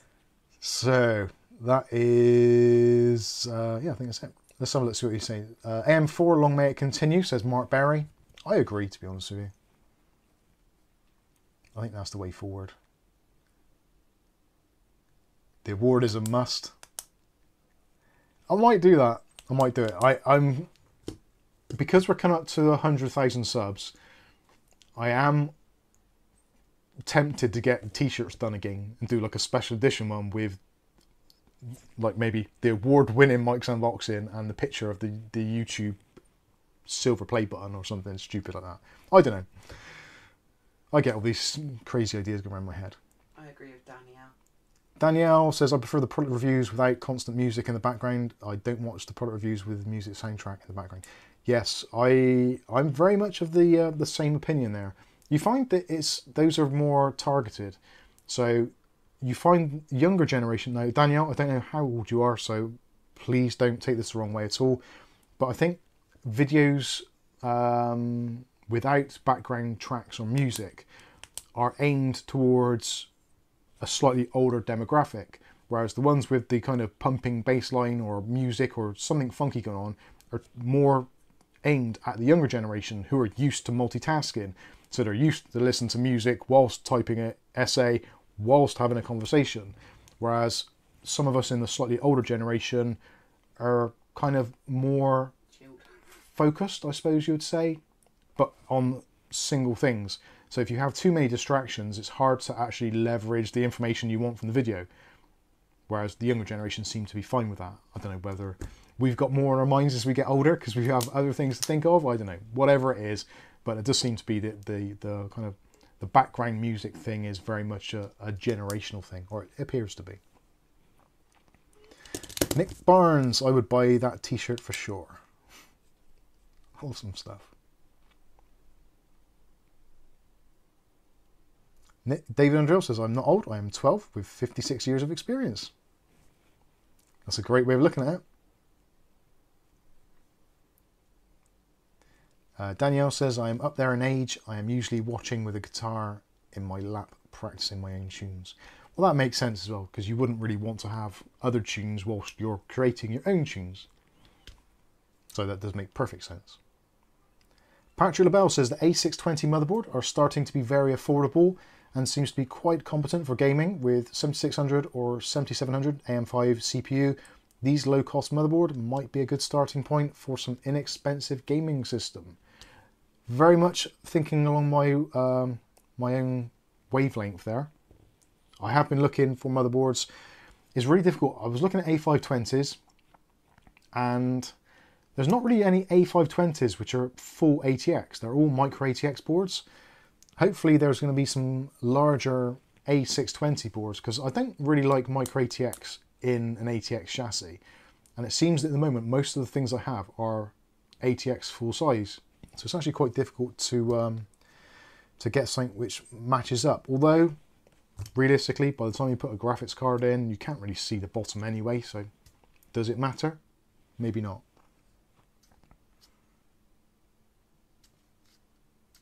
Tristan G, multitasking isn't real. Uh, one can only really do one thing at a time, computer or not. Yeah, I think that um, most of us have got to the point where we, we have the ability to multitask, but we don't do any of those tasks necessarily Well, particularly well, or we don't excel in them. that's why when you cook a meal, you aren't thinking, oh, I've got to see to the kids, I've got to do this, Yeah. I've got to do that, blah, blah, blah, blah, blah. So you do all those jobs badly. Uh, Uh, well, I would do all those jobs badly, whereas you just do the one thing good. Uh, Squibby F says change is nice sometimes. It's good that you're continuing to perfect the product. Well, perfection is a long way off, but I do try and strive for some level of production quality. Uh, something actually which is really annoying me is white balancing. I've really struggled with white balancing on the camera, and um, you can see at the moment, looking at the uh, the image there, the camera does not like the ISO. Uh, there's quite a few hot spots there, or overexposed, I think it probably is. But anyway. ultimately, I, I always come back to the thing. Look at the Blair Witch Project. When that came out, the Blair Witch Project was shot on basically like a Sony Handycam in night vision and or grainy black and white and was possibly one of the best or most viewed films of that year and for quite a while. And it was shot absolutely horrendously. And the reason why it did well is because it had a good storyline it was captivating and people were interested in it they saw it through. So it doesn't necessarily always matter about the production quality as long as the content is there. So it's trying to find the right balance of having sufficient content or quality of content at a reasonable level so that at least you can listen to it and you can see it and it's clear and you can hear it. I think that is the kind of the, the main thing. David Underhill says, is white balancing affirmative action? no, it's not. no, I don't think so. It might be, you never know. That's another thing we missed because there are little graphics boy at the Casualty was very good with cameras and Yeah. computers, wasn't he? So, but the software side of things, and he knew a lot about cameras, so he'd always help us. It's very true. Oh, little Stephen. David Underhill says, I always find it funny that monster cases still have ITX mounting points. Yeah, that was, uh, I did find that quite funny. And, uh, yeah, the series, no, not the series, the CTE 750 and the T500 Air, both absolutely monster cases, like best part of two and a half foot by two and a half foot, and yet they still have tiny mounting for an 11 inch motherboard, which well, not even 11 inch. I think they're smaller than that. It's yeah, it just blows my mind that someone would actually, at the design stage, consider that someone might put an ITX motherboard into one of those monster cases. Like yeah, put it in as an additional motherboard with another system, but not as a thing on its own. Just nuts. Uh, Squibbius says maybe those people just come to see the jingle. Um, if they do, as much as I'd appreciate them watching the jingle and uh, finding the time to find the channel, I don't think they're really the kind of viewer that we're trying to attract or kind of appeal to. If you're looking for just the jingle, then maybe you should have an appointment with the men in white coats. Yeah, the that the jingle's actually given us nothing but grief. Well, not nothing but grief, but it's been. Um, it used to always be or uh, content cop copycat or uh, technical guruji. And it's like, it's free YouTube music. Anyone can use it. Just because someone's got it in their video doesn't necessarily give them the uh, You the entire rights to use it forever. Content cop doesn't even exist anymore. So it's not as if Oh, it's like that's never get 'em even. Yeah. Most people now on the internet probably wouldn't have a clue content cop is. It used to be a really Well, big that's probably thing. why it's the 30 second thing, isn't it? Because that's all TikToky. Yeah, People's it's the attention the attention span is very low. So trying to get people in and hooked and kind of enjoying the content is kind of where it needs to be. Christ, I just realised the time. Can't believe how long we've gone on for. Oh, well, I have actually ticked all of my boxes Right, let's. and potentially had some fun Did you at put the meantime. Turn off camera. Yeah. End End. stream. stream. Uh, accept award in crystal. oh dear. Uh, again, massive thanks to all of you for joining us on this Saturday evening. hopefully you've had a moderately enjoyable time. You've had some fun, you've had some laughs, and you've actually seen some products that you potentially might even want to buy. And also, big shout out as well to uh, our friends at Thermaltake UK for this award.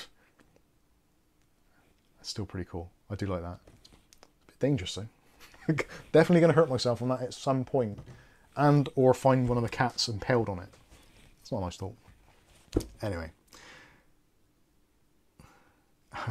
200k to get Mike's gold watch. Yeah, that would be uh, that would be pretty cool.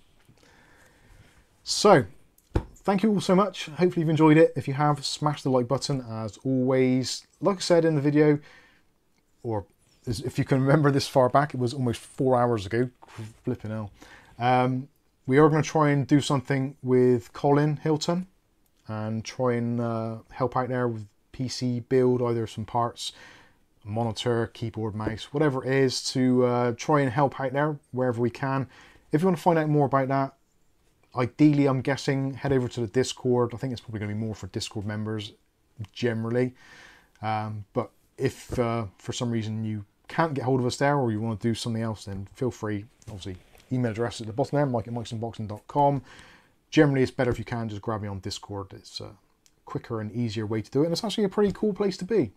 There's some lunatics in there, but they're admins, so not much you can do about that. um, yeah, I think that's going to wrap things up. Thank you all for your super chats, your kindness, and your continued support of the channel, and onward and upward to 100k, which hopefully, the way things are going, could be this year.